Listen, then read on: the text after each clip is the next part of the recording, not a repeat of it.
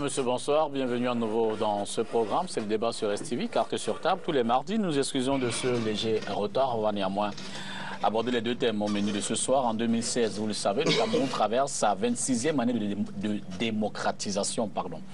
Plusieurs partis de l'opposition, que l'on peut qualifier de partis historiques, ont d'ailleurs organisé un certain nombre d'activités autour de cet événement. Une convention euh, du côté de l'UDC, une mobilisation des militants du SDF à travers le territoire national, plus qu'un quart de siècle donc à l'issue desquels il est judicieux de s'arrêter, s'interroger et envisager la suite.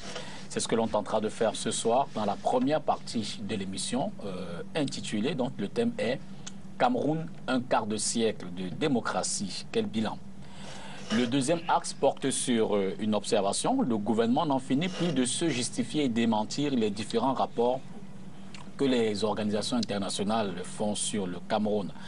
Pas plus tard que la semaine dernière, Issa Atirma Bakari, le ministre de la Communication, a organisé une conférence de presse, une de plus, pourrait-on dire, pour décrier et condamner ce qu'il considère comme un acharnement sur notre pays, en revenant notamment sur le dernier rapport de Freedom House sur la situation des droits de l'homme au Cameroun au mois d'avril. L'ONG américaine a publié son traditionnel rapport de 195 pays sur la situation des droits de l'homme dans le monde. Selon cette institution, en 2015, le Cameroun figure dans la catégorie des pays où, la population, où les populations ne sont pas du tout libres. Les libertés publiques y sont inexistantes, précise Freedom House. Ce n'est d'ailleurs pas le seul rapport qui vient s'ajouter à bien d'autres pas forcément favorables à notre pays. Pourrait-on parler d'une cabale contre le Cameroun ou de véritables réalités dévoilées au grand jour? C'est l'autre problématique de ce soir et pour lesquelles je serai euh, accompagné de quatre panélistes. D'abord Moussa Osseni, qui est de Justice Plus, une organisation non gouvernementale, donc il appartient à la société civile. Bonsoir Moussa. Bonsoir. Merci d'être là. Merci. Euh, dans la diagonale, Anissé Kane du Manidem. Bonsoir Anissé Kane. Bonsoir. De l'autre côté, juste en face de vous, Samuel encore du RDPC. Bonsoir. Bonsoir, tout le monde. Et on n'attend plus que Abel Elimbi Lobé du SIF qui va nous rejoindre, nous a-t-il promis euh, d'un moment à l'autre pour euh, démarrer, ou alors pour euh, prendre les thèmes de ce soir et nous accompagner dans le débat. Donc, je disais peut-être en attendant Elimbi Lobé qu'on aborde la question sur les droits de l'homme. Ce sera juste derrière la transition.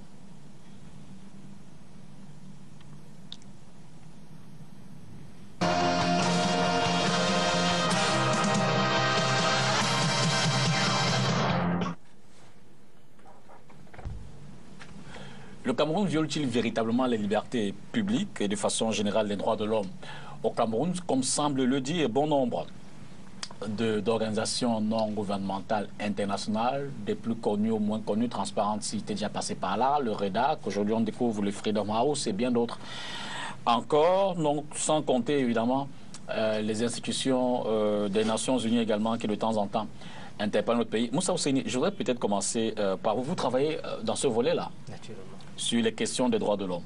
Alors, de façon générale, quels sont les constats que vous faites sur le terrain quand vous descendez faire vos enquêtes? Bon, en réalité, je ne voudrais pas me classer parmi les ONG qui procurent en majorité des discours incendiaires à l'endroit de notre pays. Mais ce que je voudrais dire, c'est que en réalité, en matière de droits de l'homme, il reste beaucoup de choses à faire sur le plan national par rapport à des abjurations qui sont faites de part et d'autre. Par exemple, et nous constatons que euh, pour certains cas, lorsqu'il y a une manifestation qui est voulue et il y a une volonté des individus qui les défendent, n'est-ce pas, sans donner des raisons valables, nous pensons qu'à ce niveau, il y a un problème fondamental, celui du respect des droits de l'homme. Ah, vous faites une allusion voilée à la descente notamment du MRC. Du naturellement, tout ceci, bon, vous voyez, ça c'est des atteintes aux droits de l'homme. Et puis, en dehors de ça, il y a beaucoup de paramètres, n'est-ce pas, qui se trouvent de part et d'autre, principalement et dans certaines zones où euh, les gens ne sont pas le plus souvent éclairés. Ici, quand je parle, je parle aussi du Grand Nord. Hein. et vraiment, nous sommes très fiers de ce qui se passe de part et d'autre, la lutte acharnée contre Boko Haram et autres. Mais nous également, nous avons euh, remarqué beaucoup d'atteintes aussi de ce côté aux droits de l'homme, où, par exemple, il y a des confusions, il y a des personnes qu'on étiquette des part et d'autre, vous voyez, tout ceci entre, c'est-à-dire tout ceci vient corroborer, n'est-ce pas, des personnes qui pensent que au Cameroun, il reste encore beaucoup à faire en ce qui concerne le respect des droits de l'homme. Pour ne citer que ça pour Vous direz la même chose dans le champ politique, Anissa Kane, sur la question des droits de l'homme? Oui, bah, c'est une évidence qu'en matière de droits de l'homme, il y a on a perdu beaucoup de terrain, même par rapport à ce qu'on a gagné en 90. Euh, c'est lié à la situation politique. Quand vous avez un régime qui se maintient à tout prix, qui euh, organise des élections truquées, qui euh, ne, veut pas continuer la démocratisation du pays malgré la pression des Camerounais, bon, forcément, il y a des atteintes à la liberté d'expression, aux droits de l'homme qui sont inhérentes à tout pouvoir qui veut se maintenir, un pouvoir, disons, euh, même si elle est conviviale à une, certaine dictature. C'est ça. Donc, euh, c'est vrai qu'il y a un peu d'amalgame lorsque on parle de ces droits de l'eau au Cameroun. Par exemple, l'assimilation de Maraf à un prisonnier politique, il y a un peu d'amalgame. On reviendra peut-être dessus. Mais il est évident qu'en matière de respect des droits par exemple des partis politiques de l'opposition, des droits de manifester, euh, des droits des partis de l'opposition dans le, champ politique, euh, etc. Il y a encore beaucoup à faire. Il faut encore presser, il faut continuer à se battre pour que ces, dispositions, qui par ailleurs sont dans les lois, soient respectées par le, le régime en place. Alors Samuel, indépendamment de ce que votre parti se satisfait des avancées, hein, c'est clair qu'il y a certainement, tout au moins par rapport à 90, un certain nombre d'avancées qu'on a pu constater. Est-ce qu'on peut également penser que, au regard quand même des, des violations qui sont décriées par-ci, par-là, un effort peut réellement être fait pour euh, les amoindrir davantage? Ou alors, est-ce que, euh, ou alors n'est-ce pas là, je veux dire que cela ne contribue-t-il pas à affaiblir davantage les adversaires politiques pour euh, se maintenir au pouvoir? On viole les droits de l'homme pour se maintenir au pouvoir ah, Je vous renvoie la question. non, mais, non, il ne faut pas, faut pas faire l'amalgame. La liberté d'expression. Moussa, Moussa, Moussa Osseni, euh, de façon subtile, parlait tout à l'heure, par exemple, de la manifestation d'une coalition des partis politiques qui a été... Euh, euh, du moins qui sont régulièrement d'ailleurs ces dernières semaines. Hein. plus tard, oui, euh, quand il y a une loi, nous vivons dans un pays qui est cadré par, il y a un cadre législatif. Si nous acceptons être Camerounais, acceptons aussi les lois que votent les représentants du peuple à l'Assemblée et bien maintenant au Sénat. C'est dans ces lois-là, la loi de 19 décembre 1990 la, loi sur la liberté de manifestation, la, sur la liberté d'association, la liberté de presse, d'expression et la, le multipartisme. C'est une, grande loi de 1990. Vous entendez quelqu'un parler de victoire, mais c'est une loi, un processus. Cette loi arrive dans un processus qui part de l'arrivée du préambule au pouvoir. Quand le préambule arrive, nous sommes partis uniques institutionnalisés par la Constitution de 1972. Il y a un seul parti de façon officielle. Quand il arrive, dans son discours d'investiture, il parle de démocratisation. Dans son discours d'investiture, il parle de démocratisation et de libéralisation. Ce processus continue. Un an après, septembre 83, congrès extraordinaire de, de, l'UNC, ancêtre du RDPC, dans ce discours, le président Biya, élu président du parti, déclare et dit aux Camerounais que le parti appartient, à une affaire de tout le monde. Il ne faut pas exclure les gens. Nous sommes encore dans une, constitution où on reconnaît un seul parti, la constitution de 1972. Mais il prépare déjà l'opinion au multipartisme, à la, à la démocratie actuelle novembre de la même année, réforme constitutionnelle de novembre 83, où on intègre la, possibilité de multiplier les candidatures à l'élection présidentielle. Nous sommes en 1983. Il y a une réforme constitutionnelle que le président a introduite pour qu'il y ait possibilité de multitude de candidatures à la présidentielle. Au congrès de mars 85, euh, où l'UNC devient l'EDPC, il annonce la démocratie au sein du parti, parce que les élections qui suivent au sein du parti, il y a une multitude de candidatures. On sait tout ça. S'il vous plaît, quand vous avez parlé, je n'ai pas intervenu. Ayez la politesse de m'écouter. Non, je dis que je, développe le processus de démocratisation. non, parce que vous avez parlé tout à l'heure d'une victoire. Il y avait une victoire. C'est un processus. Alors, on arrive donc en 85, donc, où on commence à au sein du qui était l'UNC, est-ce que là encore, le seul parti reconnu par la Constitution, avec une multitude de candidatures au sein du parti. L'année d'après, aux élections législatives municipales de 87, on autorise qu'il y ait multitude de candidatures. Aux élections législatives 88, multitude de candidatures. En 90, au 5e congrès, il dit aux militants, j'étais au congrès, préparez-vous à la concurrence. la le multipartisme arrive. Et des militants étant à, préparez-vous à, prison. J'ai dit préparez-vous à la concurrence. Et la concurrence arrive avec la loi en, 91 eh, Non, la loi, la loi de 90. Non, mais je veux dire, la concurrence arrive notamment en 91. La loi, la, loi de 80, décembre, décembre 90, permet la création 19 décembre, qui permet la création de, plusieurs partis. Des premiers partis en, en, 91. Et les, les, partis arrivent en 91, ainsi de suite, ainsi de suite. Et comme par coïncidence, comme par coïncidence lors des premières manifestations, on voit également des militaires dans la rue. Je vois, je me souviens des bastonnades ici au rond-point de, par exemple, Samuel Eboa, d'ailleurs, Anissé Non, non, ça c'était euh, l'histoire de ville morte, là. oui, non, je, veux dire, plus qu'on était, plus, vous avez fait votre historique. Oui, j'étais là, moi j'étais là. J'étais là aussi. C'était les, les, histoires de villes mortes. Ce n'était plus euh, les manifestations de partis politiques. les manifestations.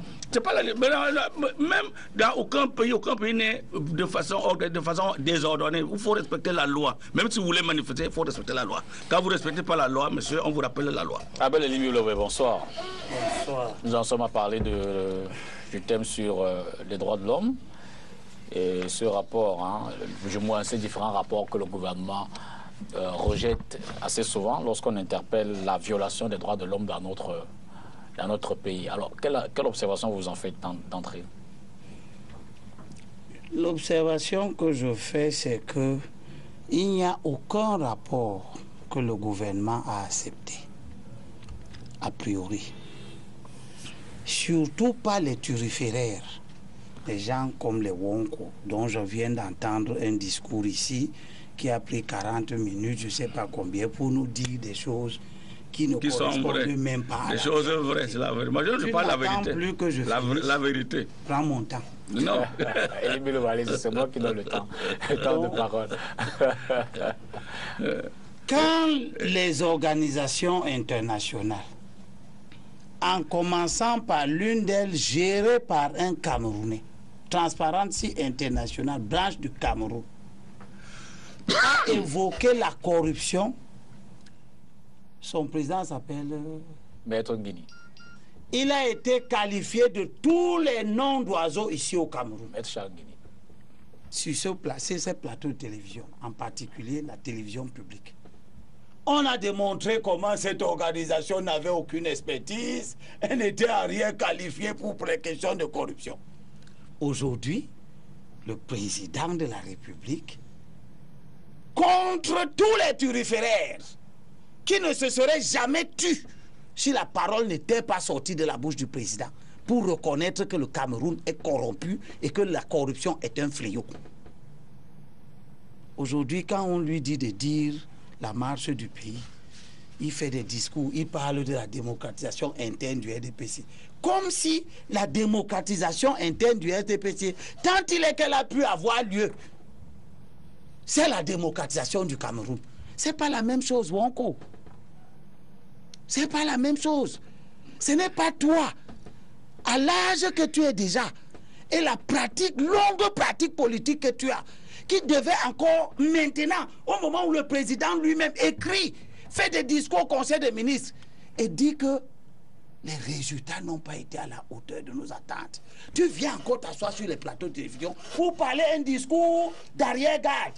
Expliquer que tu as oublié que pendant que vous faisiez cette, ce semblant de démocratie interne, vous avez marché dans cette ville, ce pays, contre la démocratie, le multipartisme et tout ce qui va. Tu m'as vu marcher peu importe. Tu n'assumes plus les résultats de ton parti. Non, j'assume. Ah, tu assumes. Mais je Donc vous avez marché. Gens vous marché. avez marché contre Tout le monde n'était pas d'accord. Vous ou pas? Moi. Non, vous, votre parti a marché mais ou pas? Le président a dit il y a multipartisme. Non, je ne dis pas le président. Vous étiez avec lui. Non. Pourquoi vous marchez alors? Je n'ai pas marché. Ah, ou bien c'est lui qui était à votre Certains militants ont marché. Non. Qui sont même avec toi maintenant. Votre parti? Certains militants qui sont avec toi ont marché. Certains militants qui sont avec toi ont marché. Vous voyez donc comment ça se passe. Certains militants qui sont avec toi ont marché. Laisse-moi terminer, mon frère. C'est ce que tu fais là est symptomatique du comportement des hommes camerounais sans conviction en matière politique. C'est comme ça que demain, dès que Paul Bian ne sera pas là, vous allez, c'est vous qui allez être les premiers à le vilipender dans ce pays. Vous ne vous reconnaîtrez plus en lui. Euh, euh, euh, moi, vous ne vous reconnaîtrez plus en lui. Je vous donne une précision. Exactement comme vous ne vous êtes jamais reconnu en Haïdjo.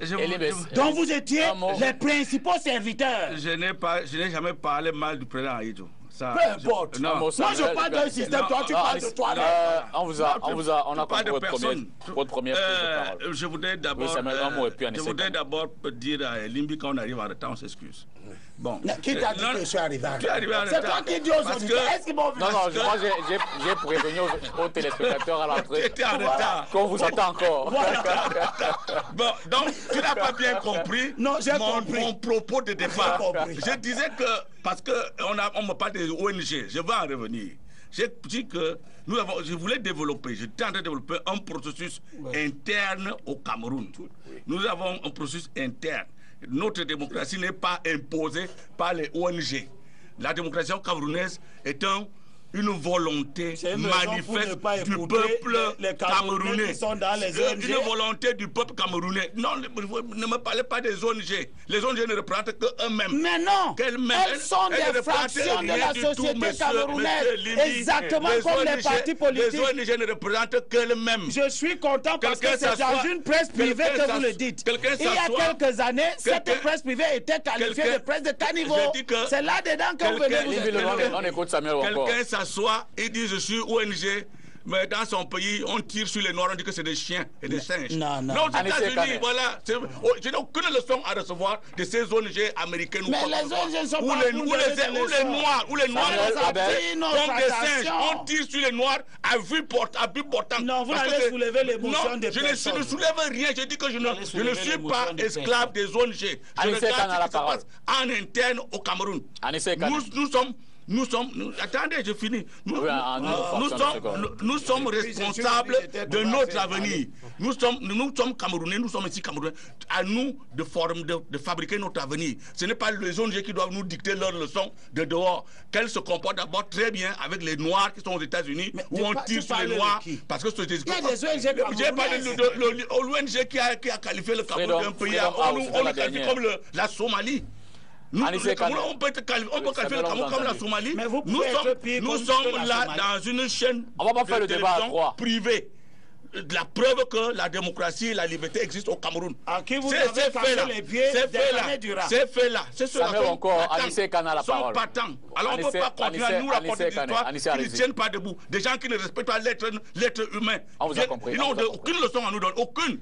Aucune leçon. J'ai aucune leçon à recevoir de ces ONG américaines où on tire sur les Noirs parce que vous êtes euh, noirs. Moussa, Moussa Osenis, euh, brûle de vous, de vous reprendre là-dessus. Mais Anissé Kana d'abord. Non, mais euh, Wonko veut réécrire histoire parce qu'il a écrit un processus là. Euh, c'est la réalité. Non, laisse-moi parler. Parle. je suis rentré au pays en 83, quand Biya a pris le pouvoir et il parlait de démocratisation. Sauf qu'en 1985, Abanda Pwama et neuf autres dirigeants de l'UPC ont passé neuf mois à la BMM, torturés par la police politique. En 1990, Bia, qui parle toujours de démocratisation, lorsque Maître et quelques Camerounais, dont j'en faisais partie, demandent la démocratisation du pays, nous sommes arrêtés le 19 février 1990, traînés à la police politique, à la BMM, traînés au tribunal militaire pendant que les Semengue et autres responsables du régime marchent contre la démocratisation, euh, contre le multiparti, vont faire des messes à la cathédrale de Yaoundé pour nous faire condamner. Nous sommes au, nous sommes tribunal militaire condamnés à 4 ans de prison et 20 millions d'amende d'échange de droits civiques. Voilà la, la, dichotomie entre le discours de démocratisation de Biya et les faits. Et ça, c'est exactement la situation dans notre pays. Une différence, un fossé entre ce qui est dit dans le discours du chef de l'État et ce qui est fait. C'est ça le problème, M. Wonko. Le, discours de M. Biya est mielleux. Il peut séduire les, les, les gogos. Ceux qui ne le connaissent pas. Mais ceux qui vivent au Cameroun, nous n'avons pas besoin, M. Wonko, des ONG pour voir qu'au Cameroun, ici, l'opposition n'a pas euh, possibilité de s'exprimer. Euh, vous parlez de la loi. Vous savez bien, vous êtes un monsieur euh, très cultivé, que les lois sont l'expression d'un rapport de force institutionnel. C'est-à-dire qu'aujourd'hui, les lois qui régissent le Cameroun sont votées par les turiféraires du RDPC. C'est des lois qui permettent à ceux qui gouvernent aujourd'hui de continuer de rester au pouvoir. Donc elles ont beau être des lois, soi-disant de la République, elles participent au maintien au pouvoir du régime. Donc elles sont faites de telle manière que ce régime se maintienne. La loi sur l'expression euh, des manifestations donne la possibilité aux Camerounais, formellement. La règle, c'est l'autorisation. L'exception, c'est l'interdiction. On est exactement dans le processus inverse. Pour vous dire que vous allez me citer tous les discours de M. Paul Biya, toutes ces recommandations, toutes ces mises en cause de ces ministres, on revient à la réalité qui n'est pas celle des ONG, qui est celle des, dizaines de millions de Camerounais qui vivent tous les jours ce que vivent les Camerounais, à savoir un régime qui les maintient, qui tente de les maintenir sous, sous le, le, joug de la dictature. Quel joug Même si à l'observation, on, on, peut constater que le gouvernement réagit très souvent quand ce sont les ONG qui montent au créneau. Hein. Bien sûr. Oui, mais parce que, euh, justement, je voulais, je voulais finir par là. Pourquoi? C'est parce qu'ils n'ont rien à faire de l'opinion des Camerounais. Ah bon Ah oui, oui. ces ONG-là, puisqu'elles disent à l'extérieur ce qui vit le Camerounais tous les jours, mm. et, etc.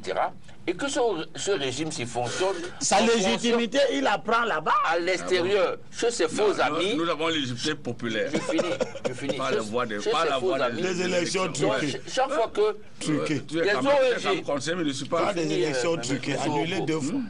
C'est pour ça que des ONG qui souvent même non haut, pour certaines, certaines, aucune consistance, dès qu'elles émettent le moindre point de vue, M. Jérôme attrape le, choléra et la fièvre. Et justement, c'est par là que je voudrais prendre Moussa.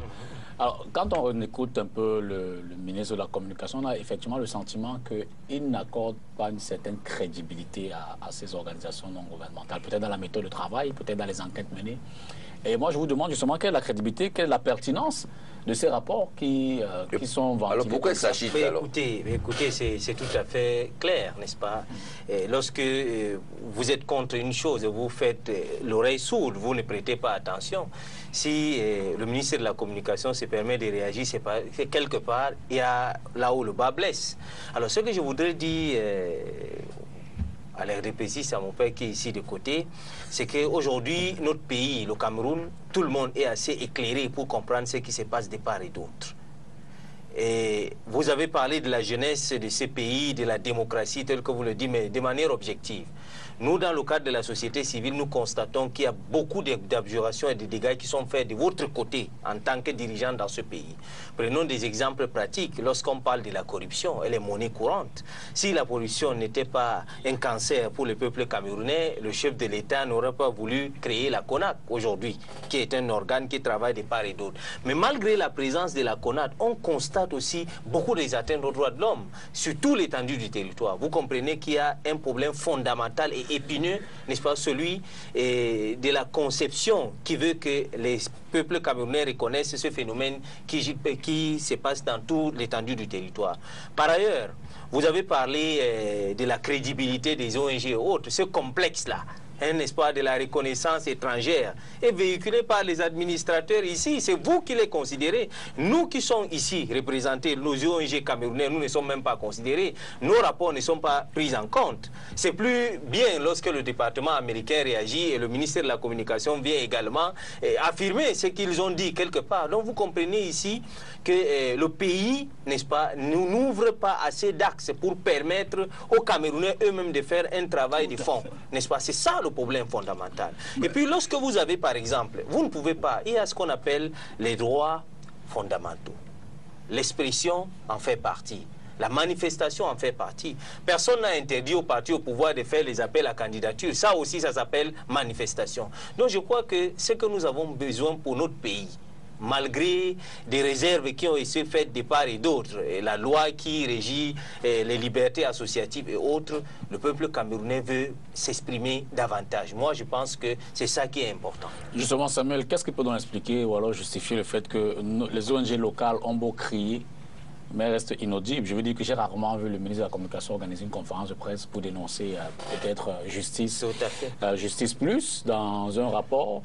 Je veux dire, est-ce que vous avez le sentiment que les ONG locales ne sont pas pertinentes ou n'ont pas d'impact sur l'action gouvernementale ou ne peuvent pas influencer les bailleurs de fonds qui viendraient euh, euh, euh, accompagner le Cameroun?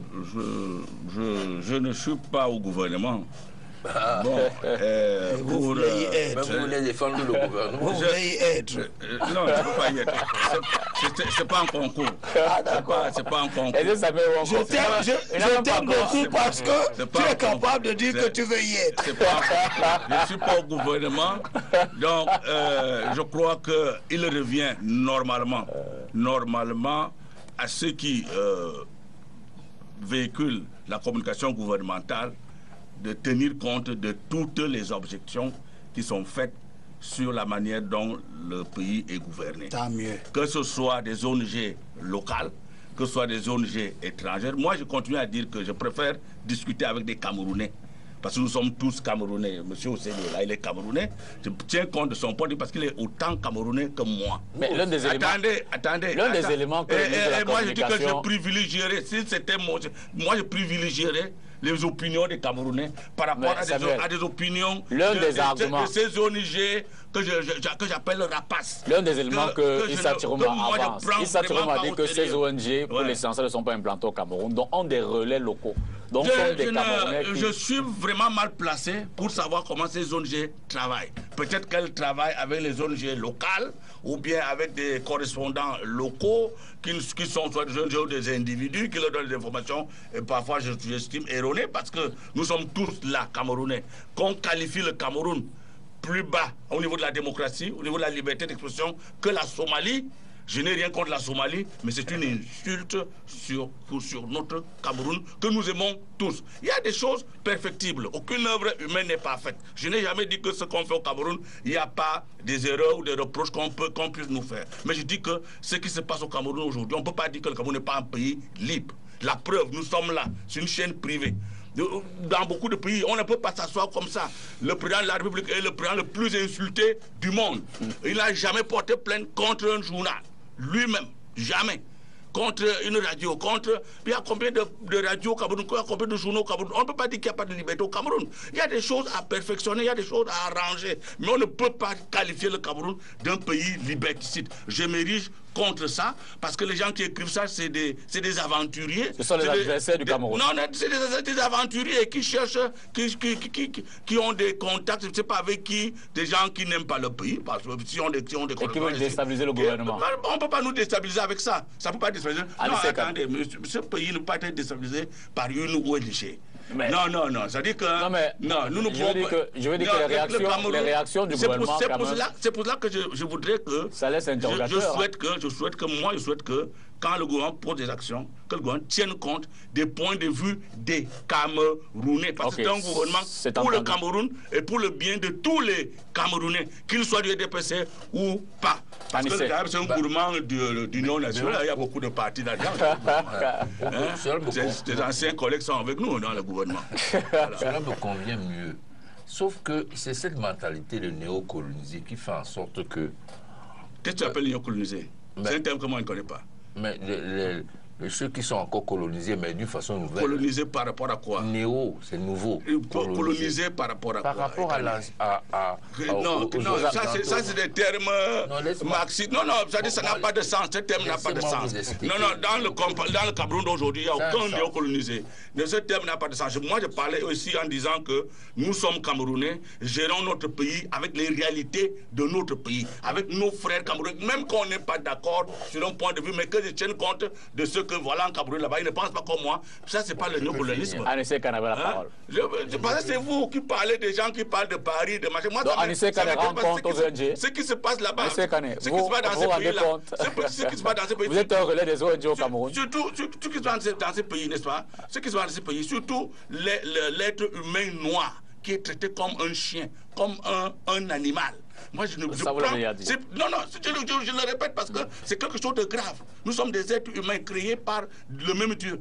Mais parce que nous sommes noirs, ces gens-là nous prennent comme des demeurés, comme, comme, comme, comme, comme, des animaux. Sauf, et, sauf, sauf, quand ils nous font des leçons, vous vous précipitez dans leur euh, déclaration, voilà ce que dit les autres, machin et tout et tout. Mais moi, je tiens compte de ce que dit M. Osseni. On n'est pas d'accord, mais je tiens compte parce qu'il est camerounais. Ok. Tenez, voilà. tenez donc compte de ce que je dis. Ouais. À savoir que c'est de votre faute parce qu'il y a une mentalité de néocoloniser dans C'est quoi Parce que jusque-là, c'est quoi néocoloniser Mais les, téléspectateurs me comprennent. Moi, je ne comprends pas. Explique-moi.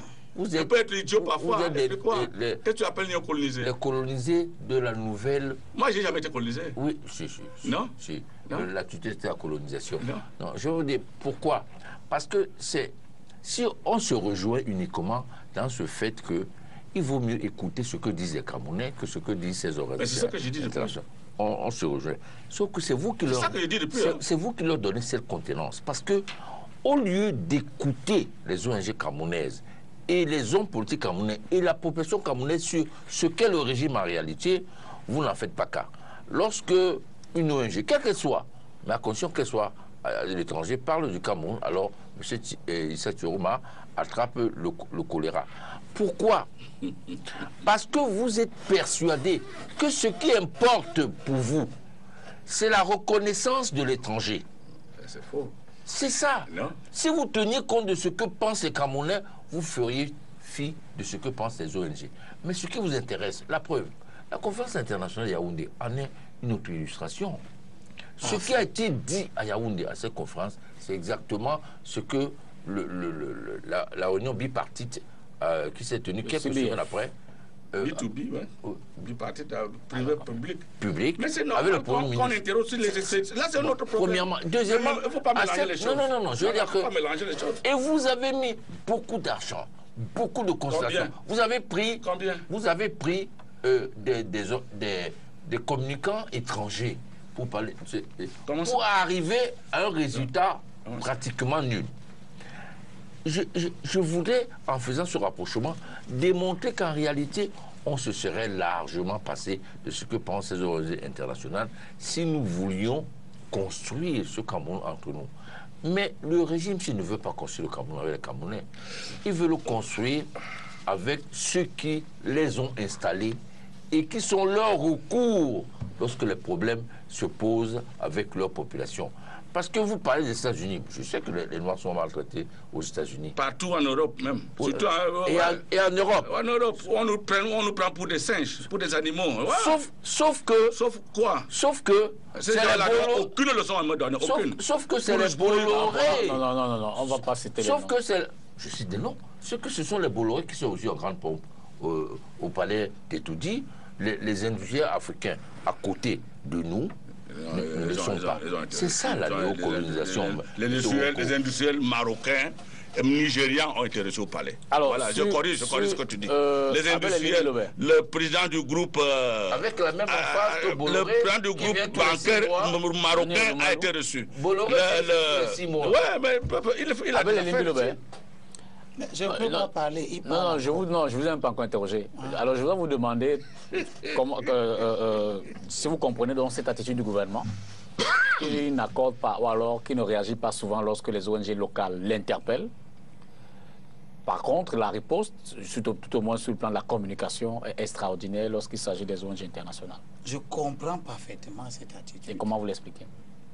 Mais les étrangers sont ceux qui légitiment les, les pouvoirs totalitaires. Les nationaux, non. Les nationaux ont quoi?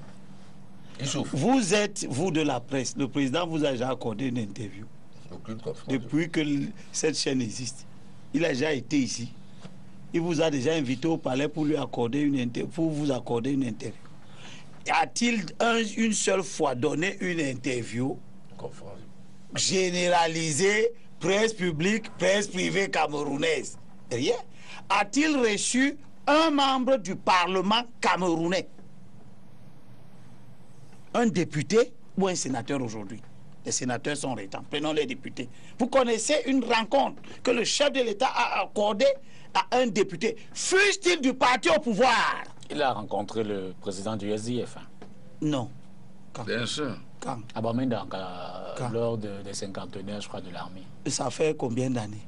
Oh, Ça fait deux ans. Nous avons 26 ans. Vous avez donc compté combien de rencontres? Il y en a quand même une. Bon, ok. Qui a certainement résumé les 25 oh, les 24 autres années. Ok. Je croyais que quand on faisait les villes mortes, on voulait le rencontrer, il, avait, il aurait accepté. Je croyais que depuis que les députés camerounais veulent le rencontrer pour s'expliquer sur la question du code électoral, il écoute. Non, il y a une culture du mépris, du son qui vient du pays ce n'est pas... Elle est impulsée par le comportement du président. Et tous les ministres suivent. Vous connaissez combien de ministres camerounais reçoivent les hommes politiques, les députés, les conseillers municipaux? Ah, On les reçoit. Combien Moi, je suis conseiller. Toi, tu n'es pas conseiller. Tu veux nous dire ce qui se passe dans notre monde Donne-moi le nom d'un conseiller qui a été reçu six mois déjà. Combien Combien Je ne peux pas compter parce que... Mais tu me parles de façon péremptoire. Pourquoi Je dis que parce que c'est vrai. C'est ce qui n'est pas bien avec vous. Non, non, c'est ça. Laisse, moi qui parlais. Non, non, non. quand tu as parlé, j'étais écouté. Bon, vas-y, mais c'est une contre-vérité. Non. Le problème avec vous, c'est que vous voulez transformer les émissions de télévision en ping-pong. Dès que je dis A, tu dis que B. Parce que tu crois que comme il n'y a personne pour dire que c'est... Ne dis pas de contre-vérité. Je veux t'expliquer que... Je veux t'expliquer que moi qui suis assis ici, mhm. tu sais combien de fois j'ai déjà fait des demandes d'être reçu? Même pas les simples gouverneurs de régions ici qui n'acceptent pas. Ah vous savez combien Vous avez fait une conférence, Anissé en parlait tout à l'heure, mhm. une fois de plus, pour montrer cette culture extravertie qui est notre culture. je ne suis pas en train de vouloir te plaire. Laisse que je parle. C'est aux auditeurs, aux téléspectateurs que je parle. tu ne peux pas écouter. non, tu ne peux pas écouter. Les opportunités d'investissement. À qui? Vous voulez montrer des opportunités plus aux étrangers plus qu'aux Camerounais? Non, mais on a déjà montré aux Camerounais. Oui, et maintenant c'est aux étrangers. 33 ans après. pourquoi 33 ans après? Depuis que vous étiez là, vous savez pas que les étrangers peuvent investir. Laisse donc que je termine. Il y a des méthodes de travail qui laisse que je termine. Je voulais dire quelque chose. Vous allez chercher des gens à l'étranger. Mafani, Peter Mafani, a pris des gens ici pour les amener à Davos, une délégation d'une centaine de personnes. Parce que c'est là-bas qu'il y a les investisseurs. Il n'y en a pas au Cameroun. Euh, Inoni a pris des gens ici, il les a amenés à Davos. Aujourd'hui, Moutazé, qui est le grand architecte de tout, il a tous les dossiers du gouvernement, c'est lui qui gère. Il a amené les premiers ministres coréens, il a amené Barroso, ancien président de la Commission européenne. Tony Elomelo vous a dit que quand les investisseurs viennent, ils demandent aux investisseurs camerounais comment ça va. Et vous savez ce que les investisseurs camerounais leur disent? Moi, je suis un petit chef d'entreprise. moi qui vous parle, je suis un blanchisseur. L'un de mes clients, je dirais même l'unique client institutionnel, c'est une grande entreprise publique camerounaise à qui j'ai adressé une facture d'un million de francs depuis décembre. Ils sont à l'écoute. Mais ils vont pour le contrat. Hein. Ça fait six mois. Si vous, venez dénoncer, si vous venez les dénoncer à la télé. non, je l'ai dénoncé. Ils vont rompre le contrat. J'ai dénoncé. Ils sont là. Votre client va se reconnaître. Il n'a qu'à me chasser. Parce qu'il va même déjà chasser. On n'aurait plus les entreprises publiques. Tu es, tu es un ancien patron d'entreprise publique un haut cadre. Je suis maintenant patron d'entreprise privée. Ah, tu es déjà à la retraite publique Je dis que je suis un patron Sauf que l'autre, le grand, lui, ne prend pas la retraite. ce, que je veux dire, politique. ce que je veux dire, c'est que tu sais très bien quel est le préjudice que les entrepreneurs camerounais vivent dans cette espèce de comportement qui voudrait que ce sont les entreprises camerounaises conduites par des hauts fonctionnaires qui fossoient la petite entreprise camerounaise. Et en lieu et place, on va organiser des forums pour remplacer la petite entreprise camerounaise par des supposés opérateurs étrangers. Le parc à conteneurs que vous donnez à des étrangers à gérer, le parc à bois, et autres. les plantations de palmiers à huile. Le, parc à Condé, c'est un groupement avec des entreprises camerounaises. Oui, ça ne pouvait pas être entièrement les, les entreprises camerounaises. Il y a une expertise. Le rail. Il y a une expertise. Hein. Le rail. Oui, mon ami, c'était un appel d'offres. L'électricité. C'était des appels Et les privatisations. Oui, les privatisations. Expliquez. Quoi? Expliquez quoi? Expliquez quoi? Ce que je vous rappelle, la seule chose. une stratégie politique. La seule, oui, c'est par exemple ça. Ça, ce que tu dis est vrai. Hmm? C'est votre stratégie. Et le président a dit, le hmm? président a dit, malheureusement, je, reviens d'une réunion qui, qui était pour la commune de Douala 5. Je n'ai pas pu repasser dans mon bureau. Je vous avais gardé deux ou trois morceaux choisis très importants.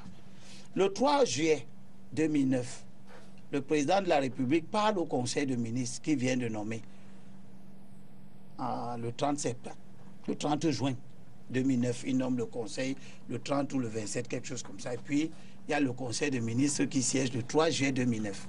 Et il parle aux ministres.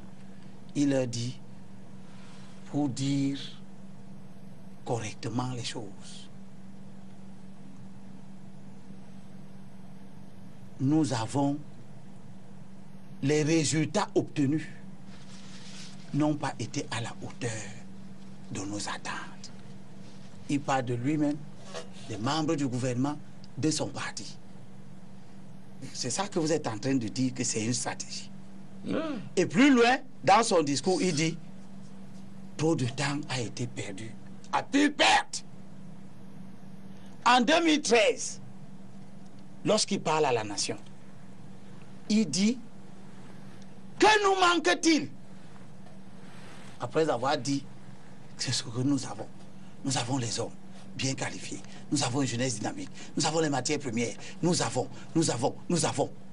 Et le président s'interroge. Que nous manque-t-il? Et il commence sa réponse en disant deux choses. Le sens de l'intérêt général et la coordination de l'action publique. Et il dit nous sommes un peuple d'individualistes. Plus préoccupés par la réussite personnelle que par l'intérêt général. Donc, quand le président et de surcroît votre chef de parti en est arrivé à faire de tels aveux, il est indécent de venir encore sur les plateaux de télévision, vous, qui n'est même pas proche de l'essai que de de la politique, pour essayer de nous expliquer le contraire de ce que lui-même avoue comme étant les problèmes. Vous ne pouvez pas prétendre que vous êtes au service de ce pays quand il n'y a pas une politique de règlement des factures des opérateurs économiques camerounais par la fonction publique. C'est la fonction publique qui tue les opérateurs économiques camerounais. Ah Les rapports du GICAM disent que quoi?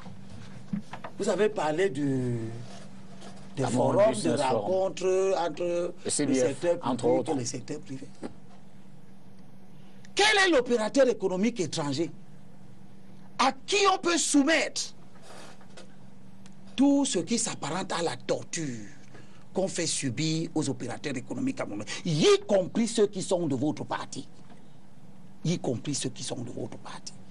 Donc, il y a une culture. Wonko, mon frère, ne prend pas la défense de tel type de comportement, ça ne payera jamais.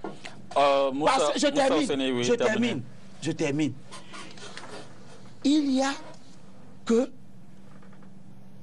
ces ONG dont on parle, quand elles se sont exprimées, les ONG nationales, et qu'on n'a pas écouté, qu'est-ce qu'elles ont fait? Elles ont actionné leur relais étranger.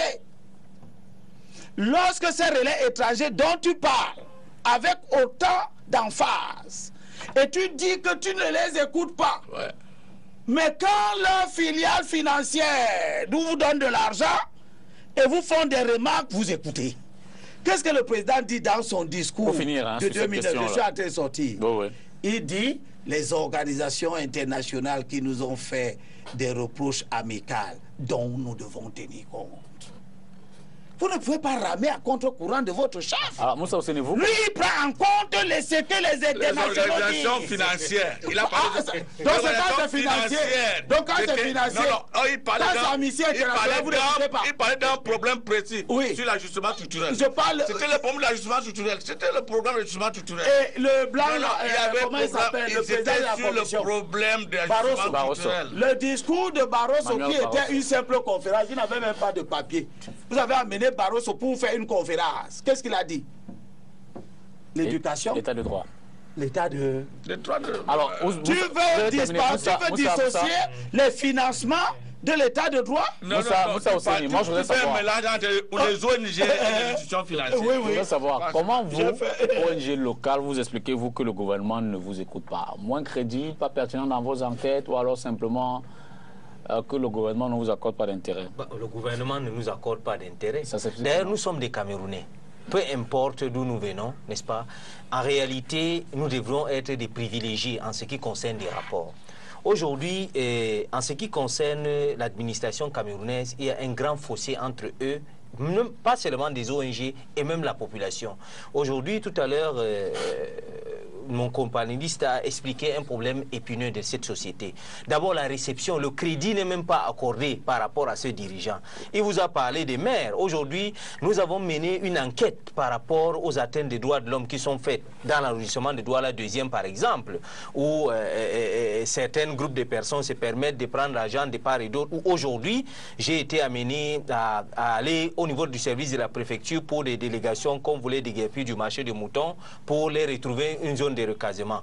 Alors, on les demande de libérer et d'autres personnes viennent de part et d'autre prendre des moyens pour encore réorganiser cette chose-là. Alors, à chaque fois que nous partons vers des particuliers ou des responsables même administratifs, nous ne sommes pas reçus. Nous ne savons pas le pourquoi. Ça, c'est d'un. De deux, nous avons décrié aussi un problème au niveau des Japoma, n'est-ce pas, en ce qui concerne les terrains ou le site où le stade sera construit et tout et tout. Il y a beaucoup de problèmes que nous avons constatés. Une étude que nous avons menée, les atteintes aux droits de l'homme, l'interposition de certains sous-préfets, le jeu de certains, tout, tout, tout, Nous avons remis des rapports. Jusqu'ici, il y a des problèmes. Donc, vous comprenez qu'il y a d'abord la lenteur administrative, la, lenteur administrative. qui est un problème. le gouvernement de mauvaise soit vous avez des oui, tout à fait. Mais euh, vous dites Vous dites que le gouvernement de mauvaise foi, vous avez des ONG locales oui, tout à fait, tout à fait. Parce qu'il n'y a aucune considération, c'est même clair. Mais ça commence vous-même. Vous, des ONG. Jeunesse, mais vous êtes pareil. Ne, rentrez pas dans Je veux dire que c'est une culture. Excuse-moi un peu, euh, Moussa. Mhm.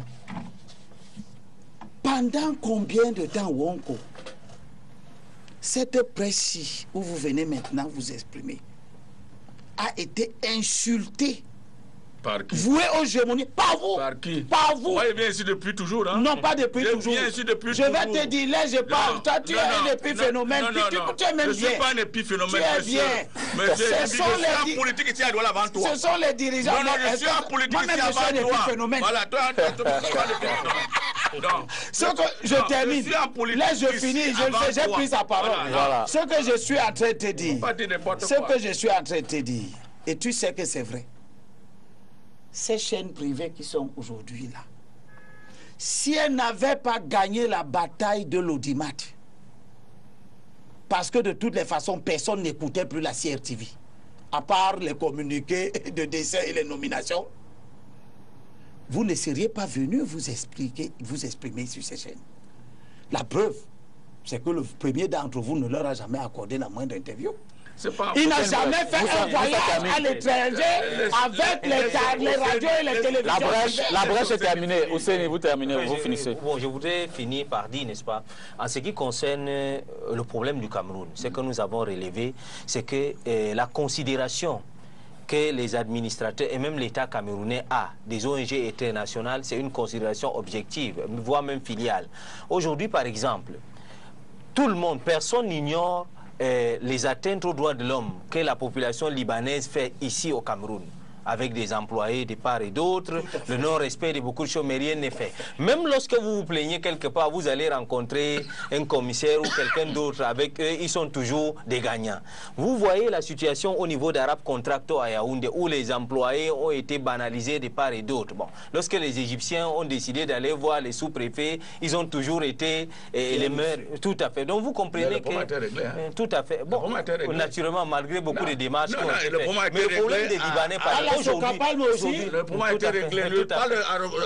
Complément d'enquête, une émission de la France, une émission française, complément brèche. a montré les conditions, de vie dans les campements de la Socapal. laissez Moussa terminer.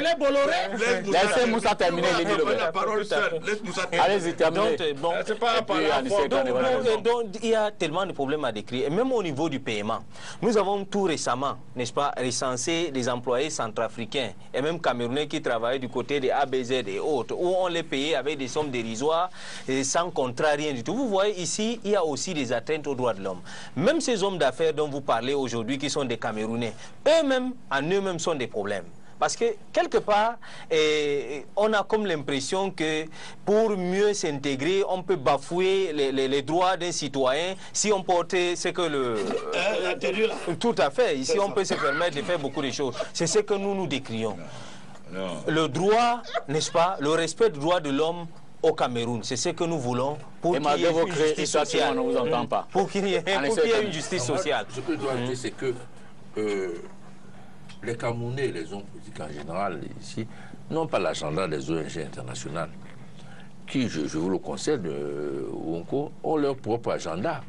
La preuve, dès qu'elles mettent la pression sur, sur le gouvernement, ah, ah, le gouvernement bouge et ils vont signer le, con- ils font signer le contrat à leur succursale financière.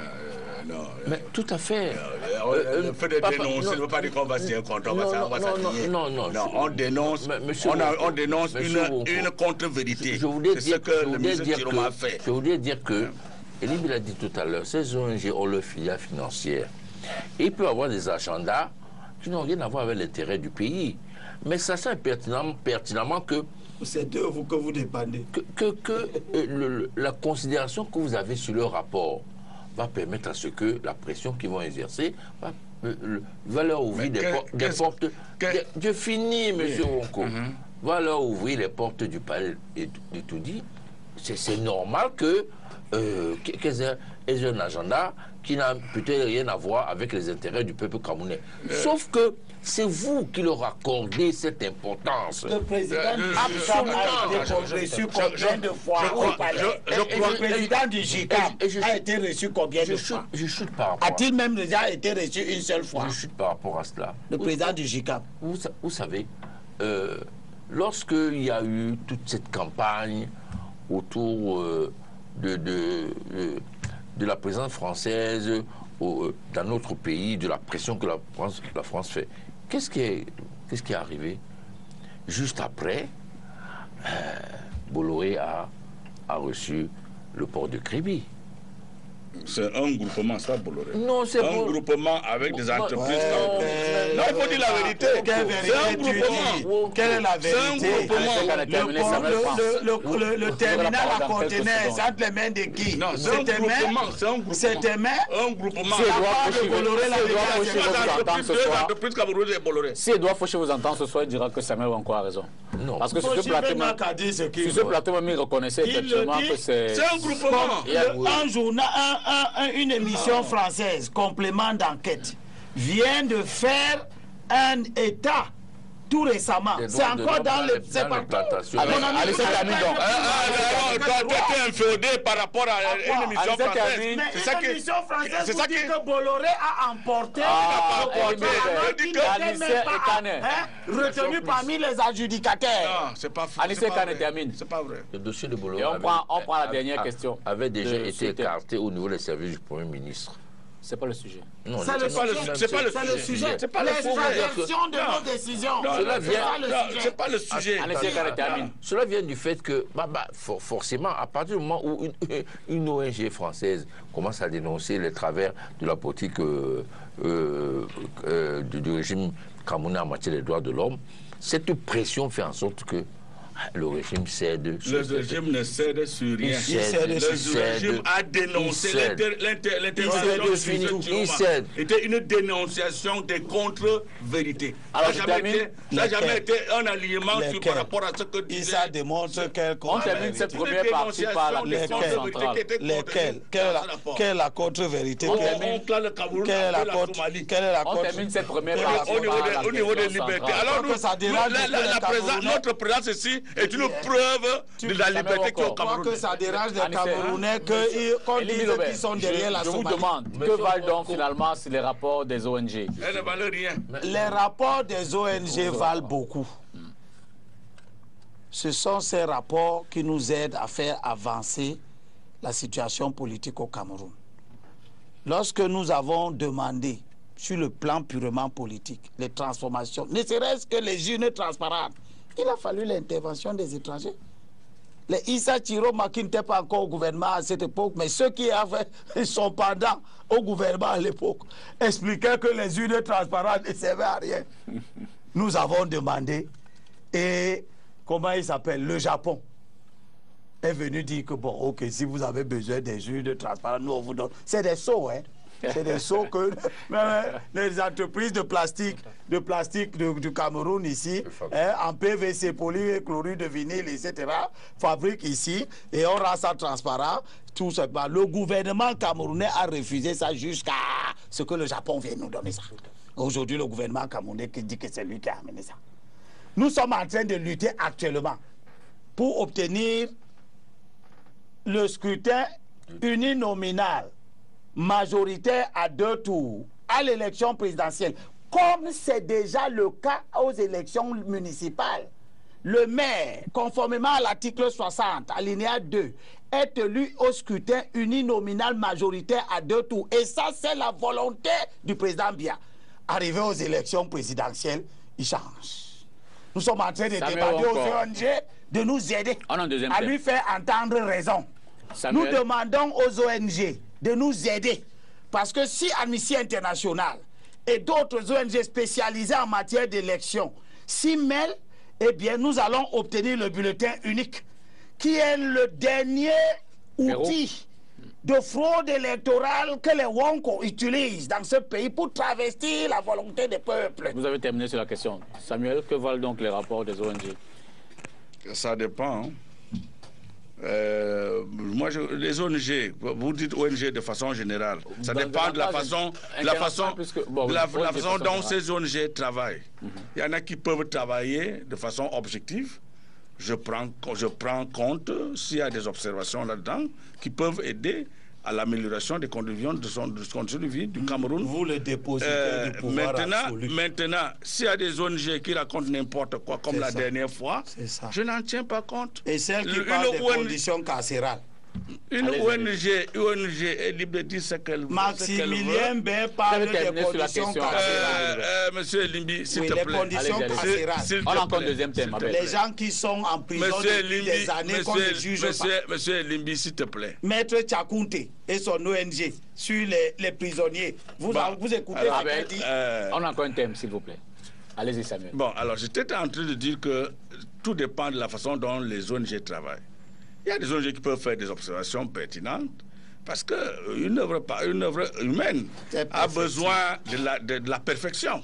Et la perfection vient avec la, la multitude d'observations et de suggestions. Si on en tient compte. De façon objective, on prend ce qui est positif.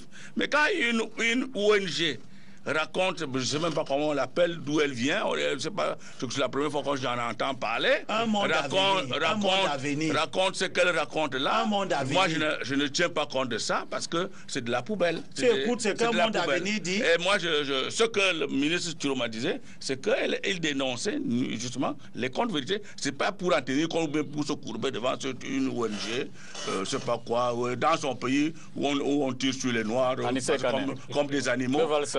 C'est-à-dire qu'avant que les ONG américaines viennent nous donner le son, qu'elles baillent d'abord devant la porte de leur maison. Ok. Voilà. Anissé. Bon, je veux dire que ben, ce que font les ONG internationales ou étrangères n'est ni plus ou moins que le, le, le, la répercussion de ce que nos, nos compatriotes des organisations non gouvernementales font dans, dans ce pays, mais non pas malheureusement euh, la possibilité de faire entendre raison à nos dirigeants. Mais il y a un proverbe américain qui dit que si vous n'écoutez pendant que vous êtes vivant, vous allez écouter quand vous serez dans la tombe. Bien sûr. Moussa, euh, euh, Moussa Ossini, oui, que valent vos rapports? Bon, euh, en réalité, ici... Enfin, je ne personnalise pas, je dis les ONG de façon... oui, de façon générale.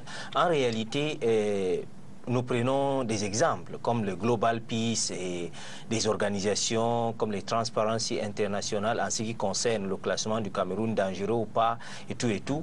Et nous n'entrons pas dans le classement, nous entrons dans la réalité. Quelle est la réalité? Ce qui est dit par ces ONG, on les retrouve au Cameroun. Ça, c'est d'abord ce qu'il faut remarquer. Le problème du danger ou de l'insécurité, Ici, je crois que d'une manière générale, d'après nos analyses, l'insécurité, ce n'est pas seulement la guerre. Lorsque vous n'avez pas la possibilité de traverser sur le pont hein, avec toute aisance, un plan n'a pas été fait, ça c'est une insécurité. Lorsque vous marchez en route aujourd'hui et que quelqu'un peut venir euh, de l'extrême nord ou du nord, il n'est pas contrôlé, il y a la mendicité routière qui peut se transformer en plusieurs antichambres pour euh, beaucoup de phénomènes, je crois que ça c'est l'insécurité. Sur ce plan, il y a, n'est-ce pas, euh, une interpellation que nous faisons au gouvernement, c'est que au lieu de contredire, il faut travailler avec nous, les ONG locaux, pour faire dégager ce qui est fait à la base. En ce qui concerne la corruption aujourd'hui, lorsque les concours sont lancés, les tout et tout, c'est un phénomène qui est ouvert à tout ce qui est visible. Donc je crois que les ONG, à tout rapport, je ne dirais pas que tout ce qu'ils disent, ces ONG internationales, est fondé, mais euh, derrière chaque rumeur, il y a une petite vérité. Et c'est cette pas de fumée sans feu. Tout à fait. Donc, euh, c'est par rapport à ça que nous, nous pensons que ce qui est important, c'est de nous redonner le poids, le pouvoir de travailler avec ces gens afin que nos rapports soient des rapports considérés. Non sur les valeurs de nos couleurs de, peau, de la peau parce que je veux dire à mon frère du RDPC ici présent que vraiment le complexe là ne vient pas des Camerounais, ça vient des dirigeants camerounais qui, à tout court, accordent plus de crédits aux dirigeants étrangers. Même les Noirs, là, ils accordent plus de crédits aux Nigériens qu'aux Camerounais. Donc, vous voyez, c'est ça que nous décrions. Et c'est là-dessus qu'on va terminer cette première partie de l'émission pour parler dans quelques secondes seulement de la démocratisation et observer que ça fait déjà 26 années que le Cameroun a décidé de réhabiliter le multipartisme. On va donc interroger cette problématique derrière la transition.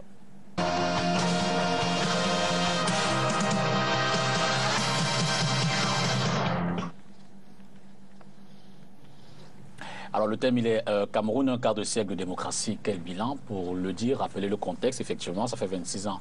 Et d'ailleurs, Samuel encore a rappelé la loi de 1990 qui réhabilitait le multipartisme, entre autres, hein, les libertés, les différentes euh, libertés. Mais on s'attarde sur le l'aspect politique. Et je disais d'ailleurs qu'il y a un certain nombre de partis que, du côté de l'opposition, on qualifie, hein, peut-être à tort ou à raison, euh, de partis historiques qui ont organisé un certain nombre de manifestations cette, cette année.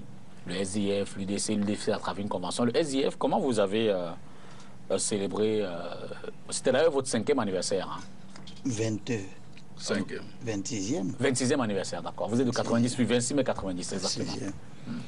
Oui, c'est un anniversaire ordinaire parce que dans ce genre de, de, manifestation, on retient souvent les, les, quarts de siècle, le demi-siècle, ainsi de suite. Donc le 25e anniversaire qui correspondait au quart de siècle l'année dernière, vous avez couvert ça et merci aussi pour, pour cette collaboration. C'était le moment le plus fastueux. Hein. Il y a eu de grandes célébrations à Bamenda notamment et même dans les régions. Nous avons organisé là, c'était plus voyant. Mais le 26e est revenu à ce qu'il y a de classique. De toutes les façons, la priorité est la même. C'est de faire notre introspection, de faire le bilan de notre marche vers les objectifs de départ euh, notre parti, comme j'ai déjà eu à le dire, n'est pas né pour donner quelques sièges de députés à quelques militants. Parce que si je regarde aujourd'hui, nous avons à peu près 124 personnes à travers le pays qui sont dans l'appareil de pouvoir. 18 députés, 14 sénateurs, 23 maires. Et si vous prenez en moyenne 4 euh, adjoints au maire pour les 23 communes, euh, ça vous donne à peu près 80 quelque chose de personnes. Si vous mettez tout ça ensemble, on on est à peu près 150 au maximum de, de personnes. Je n'ose pas prendre les conseils municipaux, ils n'occupent pas des positions de pouvoir. Donc la marche vers le pouvoir ne se poursuit pas bien au regard des conditions de naissance. Nous sommes nés dans la douleur et c'est normal. Un bon bébé naît en pleurant. Vous ne connaissez pas un bon bébé qui sort du ventre et il est là, il ne pleure pas. C'est que celui-là veut mourir. Donc, nous sommes nés dans la douleur. Et à partir de ce moment-là, nous étions nés avec une force intérieure énorme qui aurait dû servir à nous euh, euh, propulser loin dans la conquête du pouvoir. Nous avons bien commencé en 97 en gagnant 43 députés, 70 maires à peu près. Et en 2097 plus 5, c'est 2002, c'est ça. Donc en 2002, on a observé, enregistré une baisse. Une baisse 22 députés et à peu près euh, une quarantaine de communes. Puis en 2007, nous sommes tombés à 16 députés et une vingtaine, 22 communes principalement. Et en 2013, nous sommes remontés un peu à 18 députés, c'est pas significatif, et 23 maires.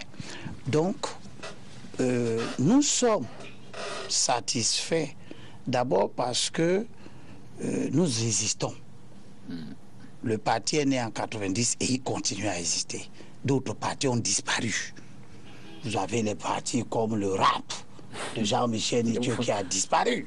Vous avez les partis comme l'UFDC d'Amenim Bieleux qui a disparu. Le rap de Jean-Michel Nietzsche, son président Vous avez, provincial. Il avait un parti qui a disparu. Il y a aussi le parti de, comment il s'appelle, euh, celui qui fait dans Citrafel, là, les rails, là.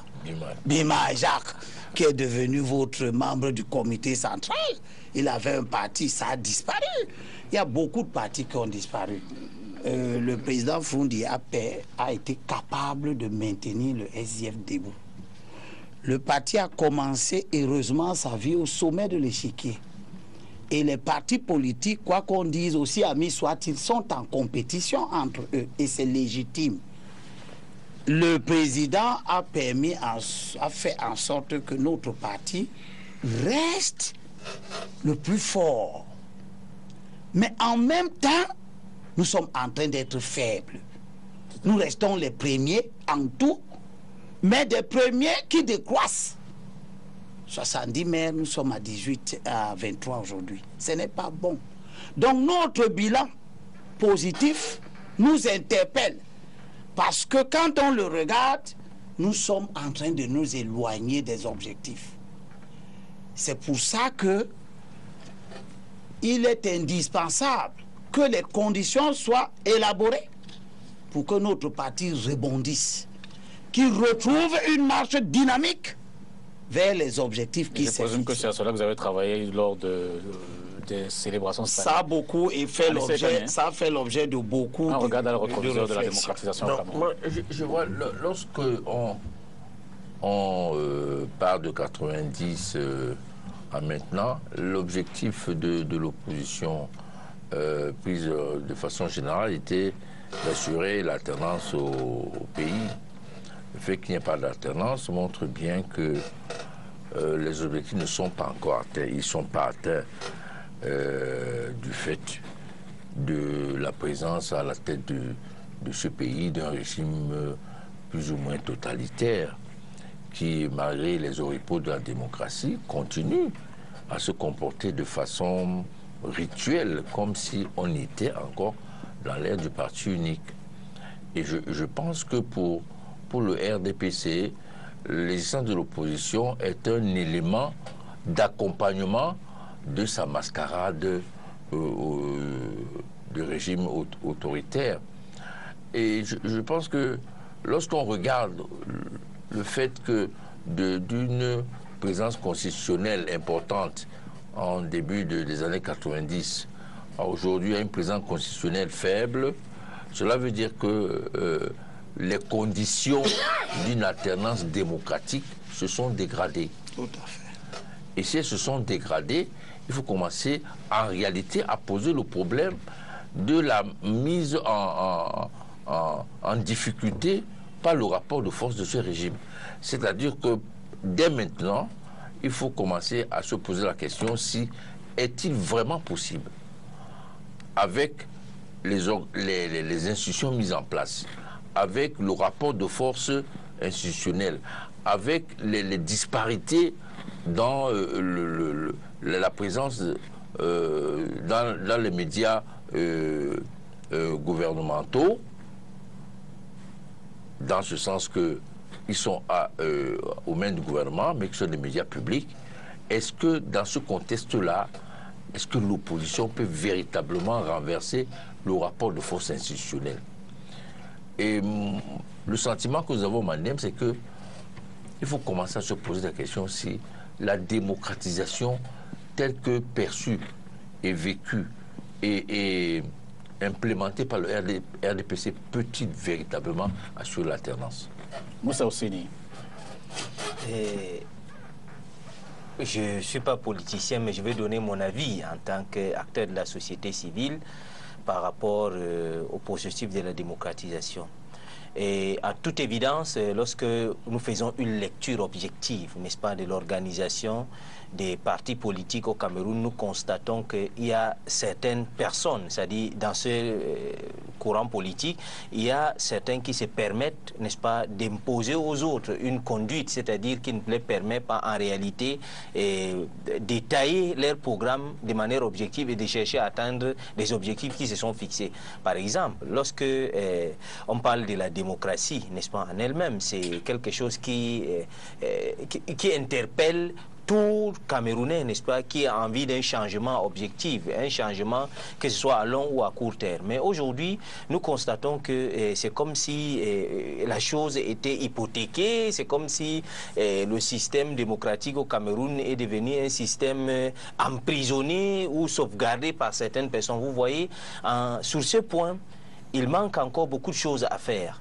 Parce qu'aujourd'hui, lorsque vous avez... Vous estimez que le parti au pouvoir a bloqué le mécanisme? Oh, bon, Vraiment, euh, certaines parmi eux, du moins, n'est-ce pas, font tout pour que le mécanisme n'avance pas, même à l'intérieur de, de, leur structure, des partis eux-mêmes. Aujourd'hui, lorsque vous voyez les, les, renouvellements, les autres, les requêtes qui sont faites de part et d'autre, vous comprenez que vraiment, c'est le système est verrouillé.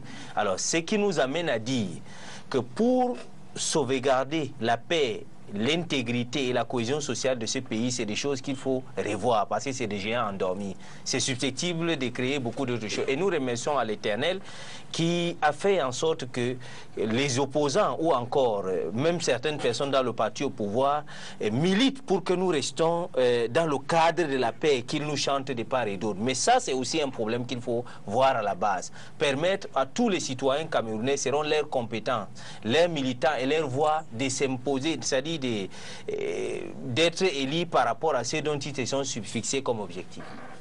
Ça encore, on regarde dans les 26 ans de la démocratisation au Cameroun.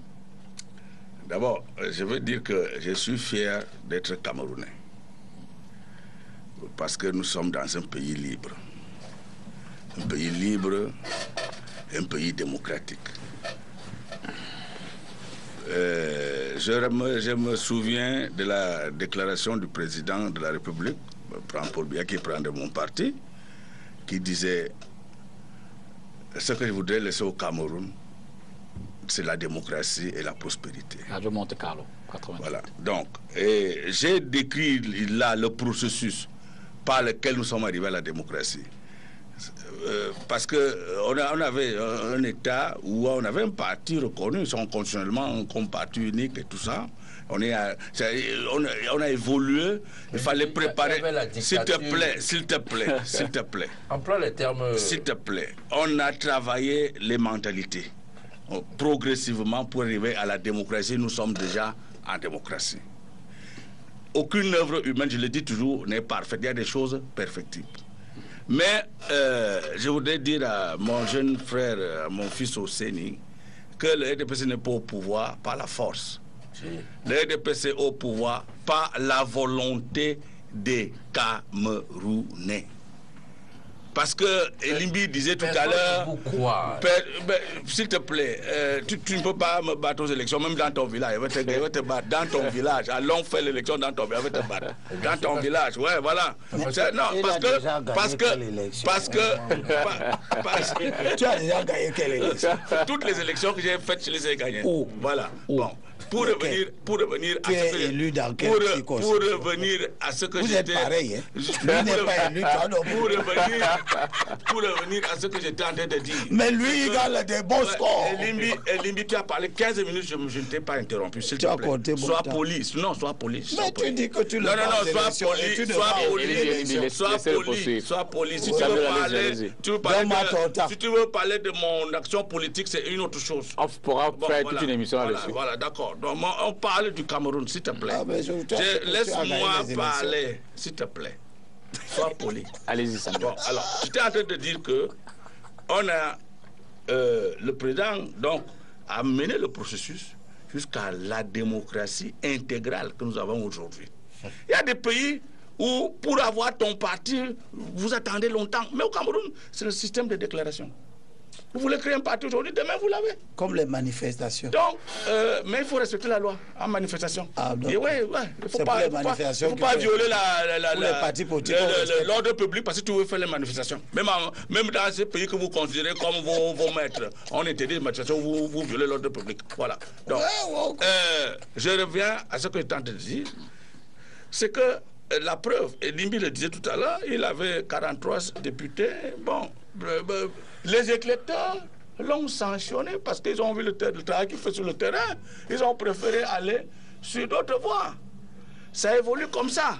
Donc, j'étais en train de dire à jeune frère et au Séni que on n'est pas au parti, on n'est pas au pouvoir par la force. Si. On est au pouvoir par la volonté des Camerounais. Ce n'est pas vrai. Tous les votes se passent maintenant de façon biométrique. la biométrie, pardon, on ne peut plus parler de tricherie ou de, ou de, vol de vote, machin. On vous bat à la régulière. Donc pour vous, c'est 26 ans de démocratie après 26 ans de démocratie et on avance, on continue à perfectionner et à améliorer les conditions de démocratie et de vie dans la démocratie. Et nous sommes un pays que les autres pays, beaucoup de pays envient. Nous, les, les, les Cameroun, l'opposition sont les seuls à trouver que ça ne ça vaut pas la peine de vivre au Cameroun. Beaucoup de, beaucoup de non-Camerounais disent que le Cameroun est en avance. Et moi, je suis fier d'être Camerounais dans un pays libre où toi et Kani, toi et Kane, toi euh, euh, euh Elimbi, vous insultez le président de la République à longueur de journée, on ne nous fait, vous n'êtes inquiété nulle part par personne.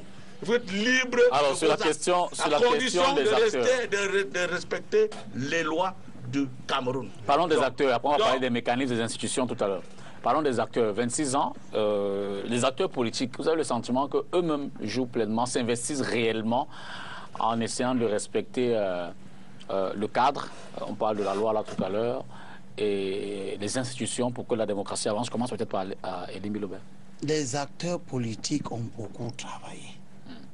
Ce que je veux dire avant d'arriver profondément à la question des acteurs, c'est que la perception de la marche de l'évolution de démocratique de notre pays n'est pas la même selon qu'on est de l'opposition ou au pouvoir.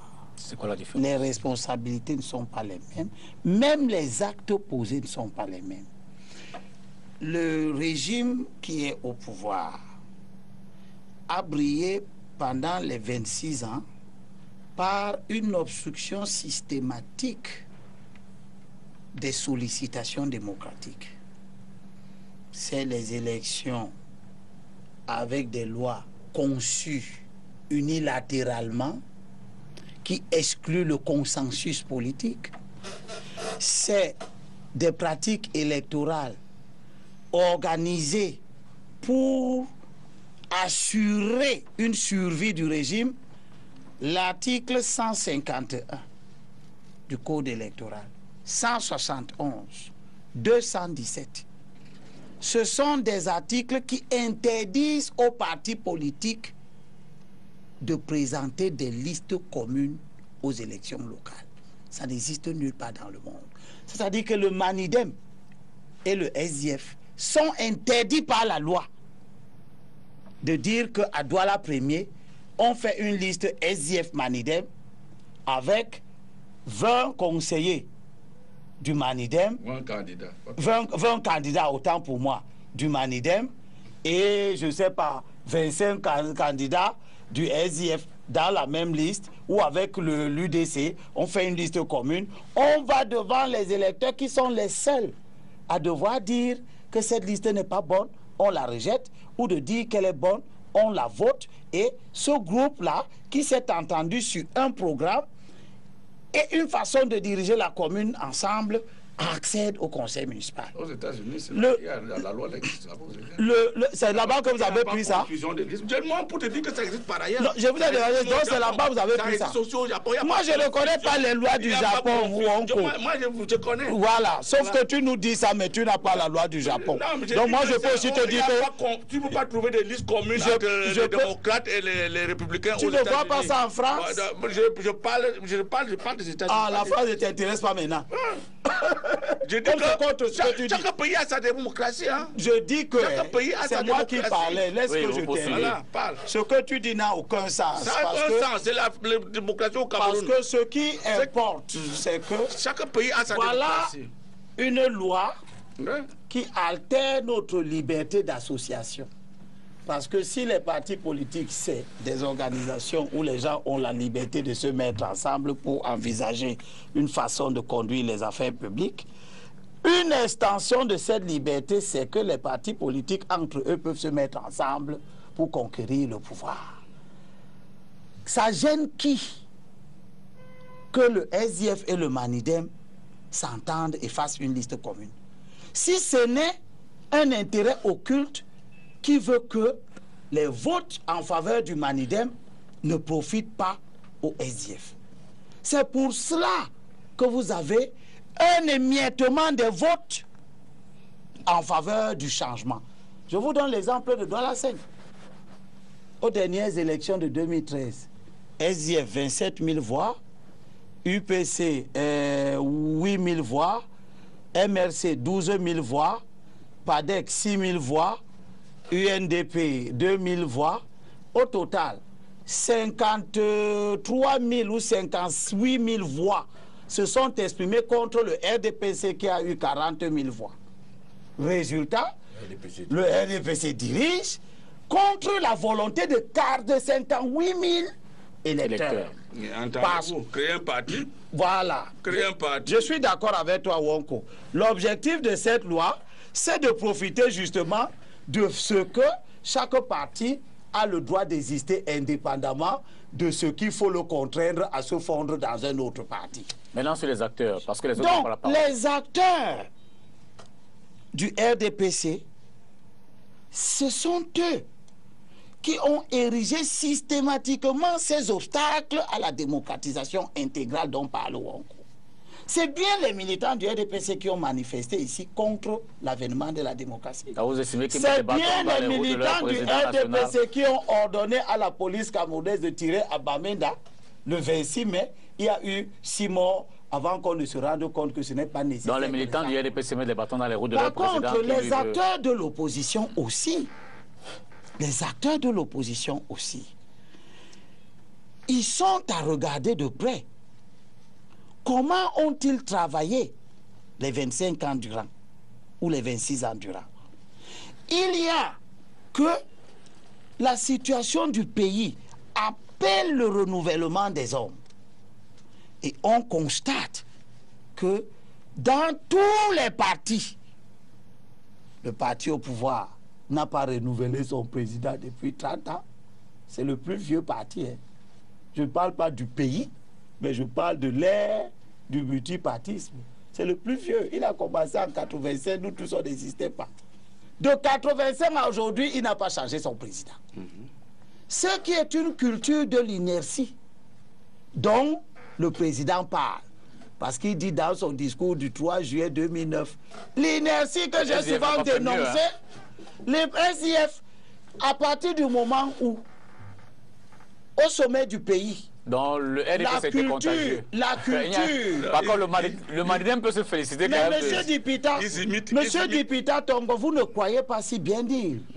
L'un vieux sage africain, Sekou Touré, que je n'aime pas beaucoup parce qu'il a fossoyé la démocratie en Guinée, disait que l'exemple vient d'en haut, l'imitation vient d'en bas. Moussa Osseni, sur les acteurs. À partir du moment où la tête du pays, c'est le gouvernement perpétuel, ça a irradié toutes les organisations sociales.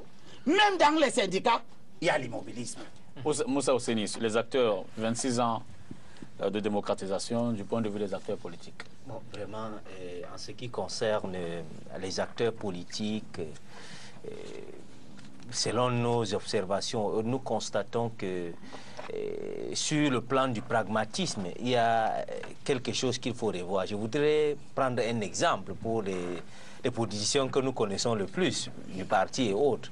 On ne peut pas prétendre dire qu'on a atteint le seuil de la démocratie et autres, pendant que les acteurs font des marches de bureau en bureau pour négocier avec des gens, pour être placés où et où, si eh, la conviction n'est pas mise en exergue. On ne peut pas parler de, la démocratie avec des acteurs objectifs et concrets lorsqu'on se permet de donner des moyens aux Camerounais qui supposaient, n'est-ce pas, être convaincus pour faire un choix d'intérêt général, n'est-ce pas, en leur donnant des moyens pour faire certaines choses. Donc je crois que sur le plan objectif, les acteurs du, du parti au pouvoir ont beaucoup de choses aussi à arranger parce qu'on constate qu'il y a de plus en plus des intérêts égocentriques. Et ils se positionnent, comité central et autres, pour avoir eh, des marchés de part et d'autre. Ça, ce n'est pas l'objectif visé. du côté d'opposition, il y a aussi quelque chose que nous avons remarqué parce que eh, il y a des talentueux, ils sont très dynamiques et tout et tout, mais on constate qu'il y a certains acteurs parmi eux qui jouent euh, peut-être la danse bafia, qui jouent le jeu des intérêts personnels, qui de temps à autre quittent leur parti pour aller de l'autre côté. Bon, on se pose la question de savoir si peut-être eux-mêmes, parmi eux, il y a des personnes dont l'objectif peut-être vise à avoir les choses tout à fait. Bon, vous voyez, ici, c'est ça, c'est ce que nous décrions. Mais de manière globale et générale, nous, euh, nous nous félicitons en tant que Camerounais de voir qu'aujourd'hui, eh, de plus en plus, on n'interdit pas aux partis d'opposition comme aux partis de pouvoir, n'est-ce pas, de présenter aux Camerounais eh, leurs programmes et tout et tout ça, ça nous réjouit. Mais en ce qui concerne des acteurs, vraiment, il y a des choses à faire. Samuel encore, 26 ans de démocratisation du point de vue des acteurs. Tout le monde joue franc jeu? Je ne sais pas comment ça se passe dans les autres partis je suis bien placé pour parler de mon parti, où je suis membre du comité central, où nous, on joue frange. on essaie de mettre les gens qu'il faut à la place qu'il faut à partir du président national. Et Limbilobe semblait dire que, en même temps, comme vous êtes aussi bien dans le parti qu'au pouvoir, ceux qui sont du parti, mais ayant des positions de pouvoir, s'organisent pour que la démocratie n'avance pas forcément. Pourquoi? Ah, je sais pas, non, mais écoutez, on, est, nous, on organise la démocratie d'abord dans notre parti. Et la démocratie nationale est organisée au niveau des lois de ce pays qui autorisent à tout un, tout un chacun d'adhérer au parti qu'il veut, de faire ce qu'il veut à condition de respecter la loi. C'est ça la démocratie. Maintenant, chaque parti en interne s'organise. Nous sommes tous des acteurs de la société.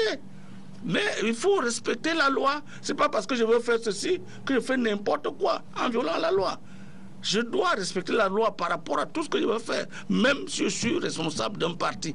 C'est parce que je suis responsable. Aucun responsable de parti n'est au-dessus de la loi. Samuel, je donc, euh, euh, s'il te plaît, donc, s'il te plaît. Donc, moi, au niveau des acteurs, je, je, je, je, pense qu'à notre niveau, au niveau de mon parti, nous, on joue le jeu de la démocratie. On sait que nous ne sommes pas les seuls. La démocratie, c'est quoi? C'est la pluralité d'expression.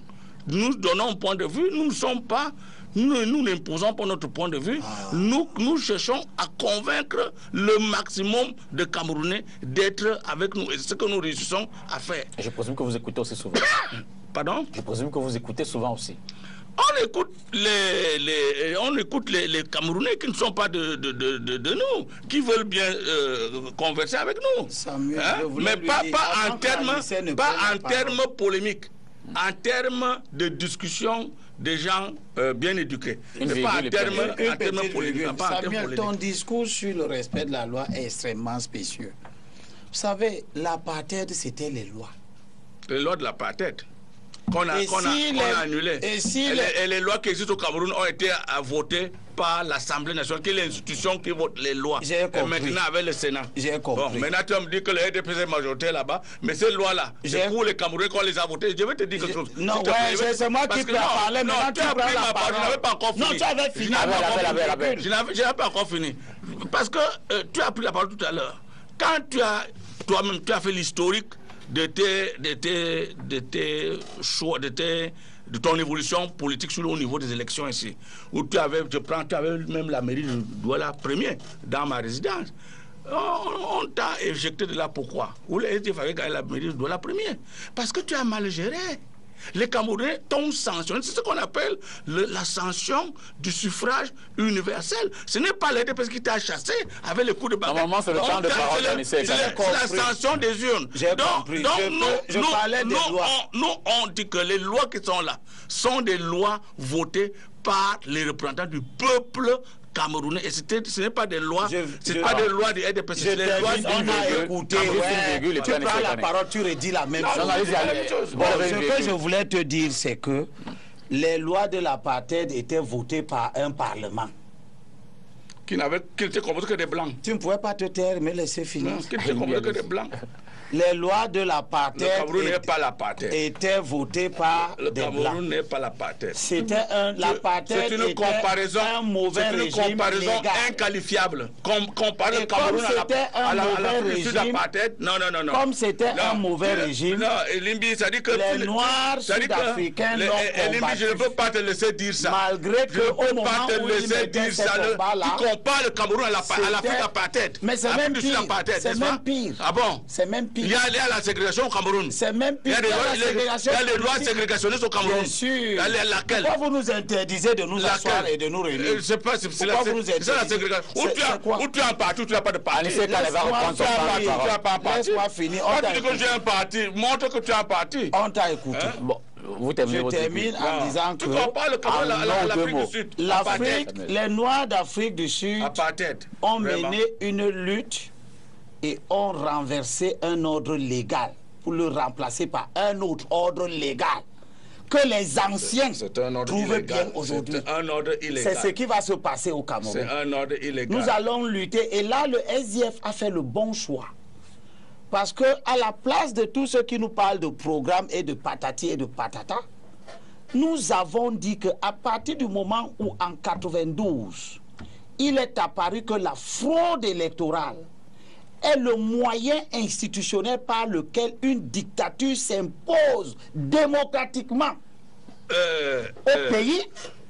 Le choix et la priorité de la lutte politique devient Monsieur Limbi, il y a la création d'un système électoral et consensuel, jamais eu les, victoires que tu as eues avant. Mais les Camerounais t'ont sanctionné parce que tu as mal géré et les mairies et les postes que le, le peuple camerounais t'a confiés. On t'a sanctionné on t'a sanctionné. Il n'y a aucune fraude? C'est le peuple camerounais qui t'a sanctionné par, le, par, la voie des urnes. Les élections ont été annulées dans ma On va continuer à te sanctionner parce que tu ne peux pas gérer le Cameroun.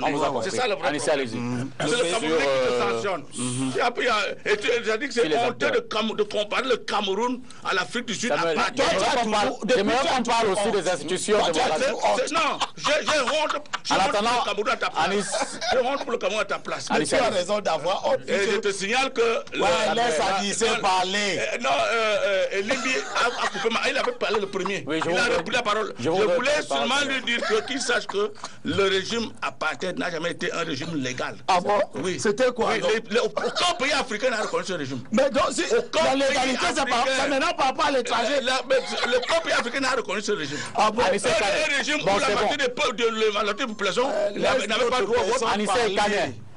Allez-y, sur euh, les acteurs. J'ai tenté de l'expliquer tout à l'heure à, à en disant que les lois sont l'expression d'une dictature, elles peuvent être d'une minorité. Ah bon?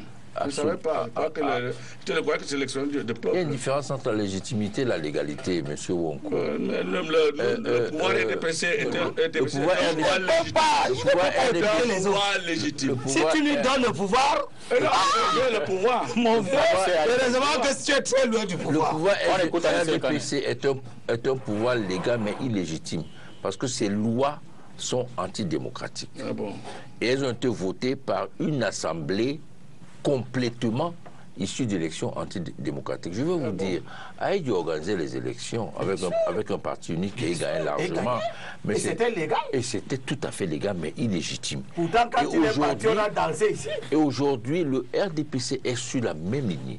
C'est-à-dire qu'il y a un pouvoir légal, institutionnel, mais qui est totalement illégitime. Mais si on avait quand les Camerounais qu'on parlait du pouvoir, ils seraient à les élections, ils les auraient gagnés. J'y vais, j'y vais. Et je le dis à chaque fois, quelques mois avant que ben, Comparé ne soit chassé comme un rat, il venait de gagner des élections et largement. Donc, Quelles élections gagnées Élections présidentielles. Non, non, non, non, non, non, non, on, on préparait les élections. Non, non, non, pas. On préparait les élections présidentielles. Non, non, non, c'est l'histoire. Non, Comparé voulait aller aux élections présidentielles. Il ne voulait pas de gagner les élections. Il voulait aller aux élections. Non, quelques années avant, il a gagné les élections. Non, non, pas quelques années, 5 ans, 7 ans avant. Mais c'est quelques années. Il voulait aller aux élections. Il voulait gagner. Il voulait de gagner les élections. Non. Son parti venait de gagner les élections législatives. Non, non, on vient de les organiser là maintenant. On vient de les organiser là maintenant. Mais ça termine. Non, il faut pas, non, il faut la vérité. Oui, on vient d'organiser les élections législatives à Burkina On n'avait jamais organisé les élections. On n'avait jamais organisé les élections législatives avant. La vérité, il ne faut pas mentir. On est là, il faut dire la vérité. Il ne faut pas déformer les faits, c'est l'histoire. Monsieur Wonko, je, je, je, je regrette, mais il faut dire la vérité. reprends en disant que hmm. toutes les, les élections, toutes les dictatures, dans deux ans, dans deux ans, on va se retrouver ici. C'est-à-dire ça ne vaut pas la peine de venir crier ici, on va aller sur le terrain, chasser nous comme vous avez chassé les autres au Burkina. Ouais, qu'il parle, mais il ne faut pas dire n'importe quoi. Mais si tu ne veux pas, quand tu entendras quand tu seras dans la tombe. Mais, mais, pourquoi? Mais, je, non, je, je, je dis que toutes les dictatures organisent des élections et les gagnent. Nous ne sommes pas une dictature, monsieur. Nous sommes un régime démocratique. Est-ce que ce que je, est -ce que, ce que je dis est vrai? Non. Toutes les dictatures organisent des élections et les gagnent. Il y a donc une différence, M. Wonko, entre un pouvoir légal et un pouvoir légitime. Les lois aujourd'hui qui régissent notre pays sont des lois légales mais illégitimes parce qu'elles concourent à maintenir à tout prix le régime RC au pouvoir. Et je, vous rappelle, M. Wonko, que pour qu'on ait cette, ce multipartisme, cette démocratie en 1990, il a fallu que les Camerounais ne respectent pas vos lois. Bien sûr. C'est grâce à cela, ah bon? grâce Bien à sûr. ce non-respect des lois, ah bon? Vous avez, vous avez qualifié les John Foudi de J'ai parlé ici d'un processus. Je finis. Un processus qui a commencé en 82. Un processus. Bon, allez, c'est Sauf que pendant, pendant, pendant ah, je finis. Pendant que, pendant que euh, le président vous disait dans votre congrès de juin que attendez-vous à la concurrence, en même temps, il est maintenant en prison des Camerounais qui ont demandé le Qui ont violé la loi. Mais c'est ça qui dit. Exactement. Qui ont violé la loi pour qu'on ait multipartisme. Aujourd'hui, ces Camerounais sont ceux qui vous ont, vous ont donné le multipartisme. Absolument. Ceux qui étaient en prison. Non, c'est pas qui ont donné le multipartisme. Ils sont allés en prison en 90. J'étais en prison pendant que vous, vous étiez au Congrès. Au nom de vos lois. Au nom de vos lois. C'était deuxième chose. Une loi qui est Tout à fait. On a encore une douzaine de minutes, mais j'aimerais qu'on dise un mot sur les Et dans la Déclaration universelle des droits de l'homme, si vous vous rappelez, M. Conco, il est dit dans un des paragraphes que les peuples choisissent les moyens pour se libérer. Et ces moyens ne sont pas uniquement des élections. Je vous le rappelle.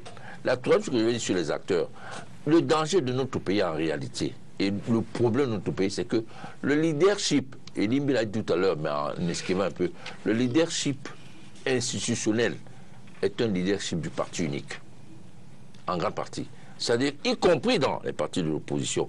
Et ça pose un problème parce qu'il y a une culture qui n'est pas une culture de démocratisation, de libéralisation, une culture de cantonnement des gens.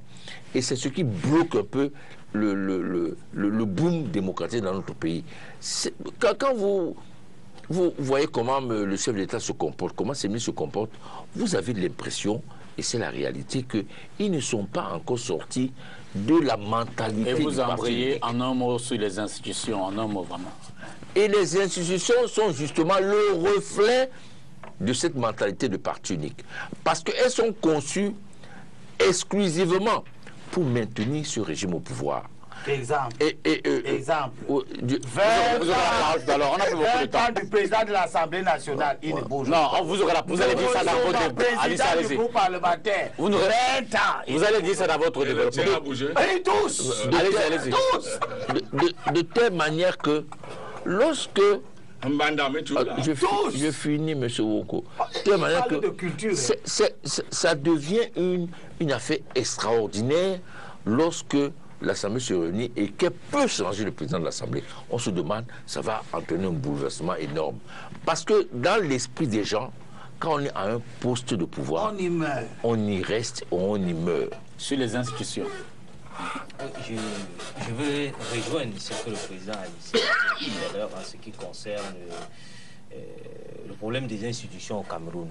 C'est un problème euh, tout à fait clair.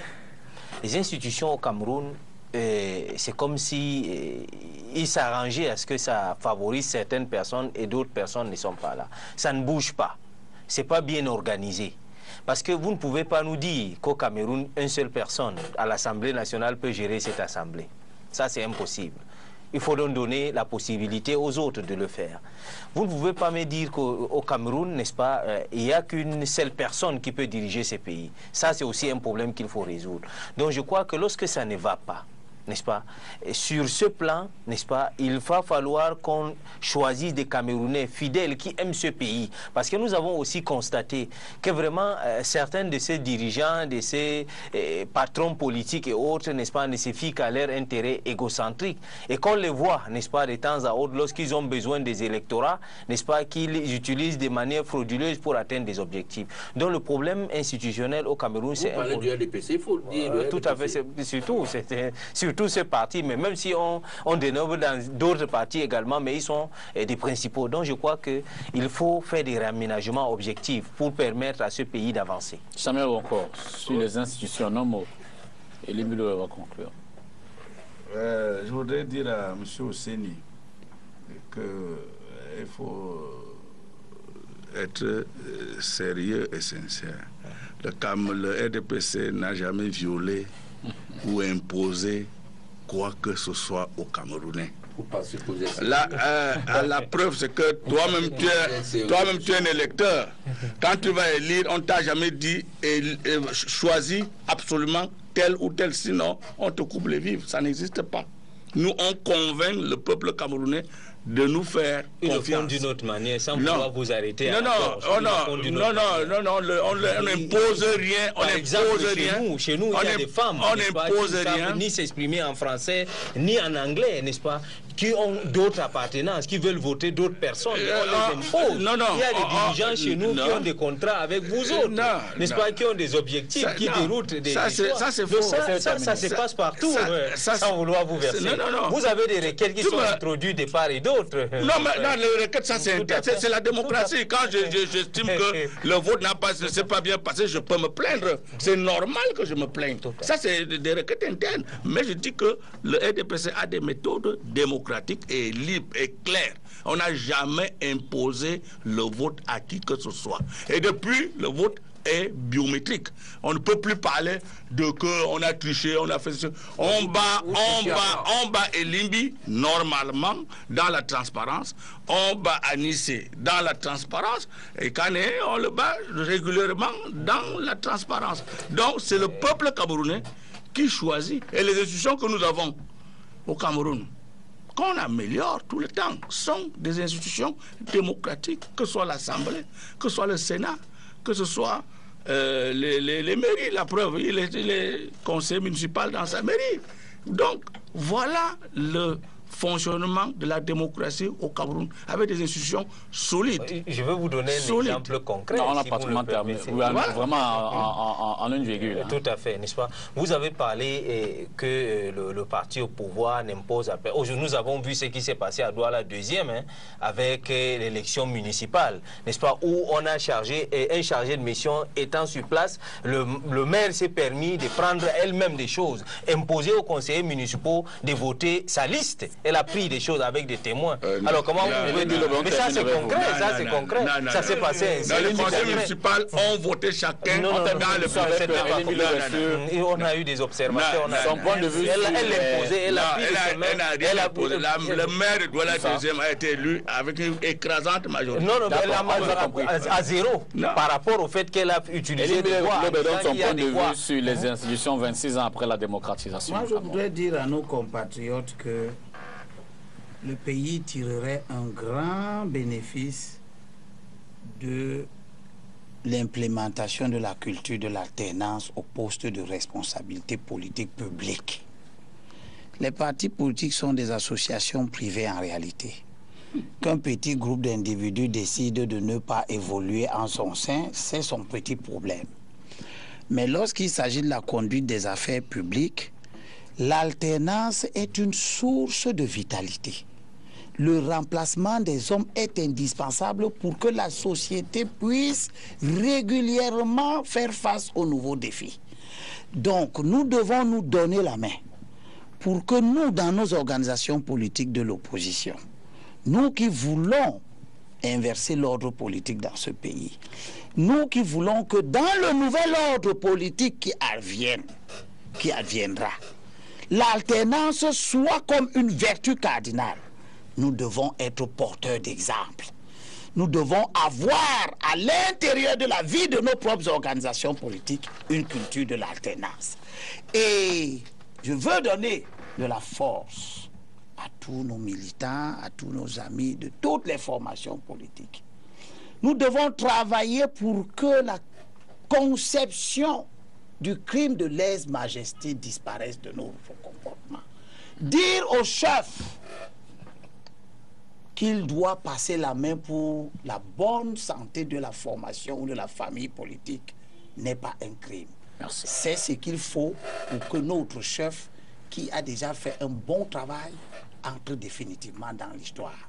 Je regrette qu'au Cameroun, l'exemple soit venu des petites formations comme le Manidem, qui ont implémenté l'alternance à leur sein. Ça ne porte pas encore les fruits. J'ose croire que ça portera des fruits. Merci beaucoup à vous, hein, cher monsieur, qui êtes venu apporter votre contribution au débat. De ce soir, nous en étions à interroger les 26 années de la démocratisation au Cameroun et bien sûr également la situation des droits de l'homme et la position du gouvernement qui a toujours tendance à ne pas, du moins, rejeter les rapports qui sont dits sur cet euh, aspect. Mesdames, Messieurs, merci d'avoir également suivi ce programme. Mardi prochain, vous aurez droit à une autre édition de Carte sur table. Bonsoir.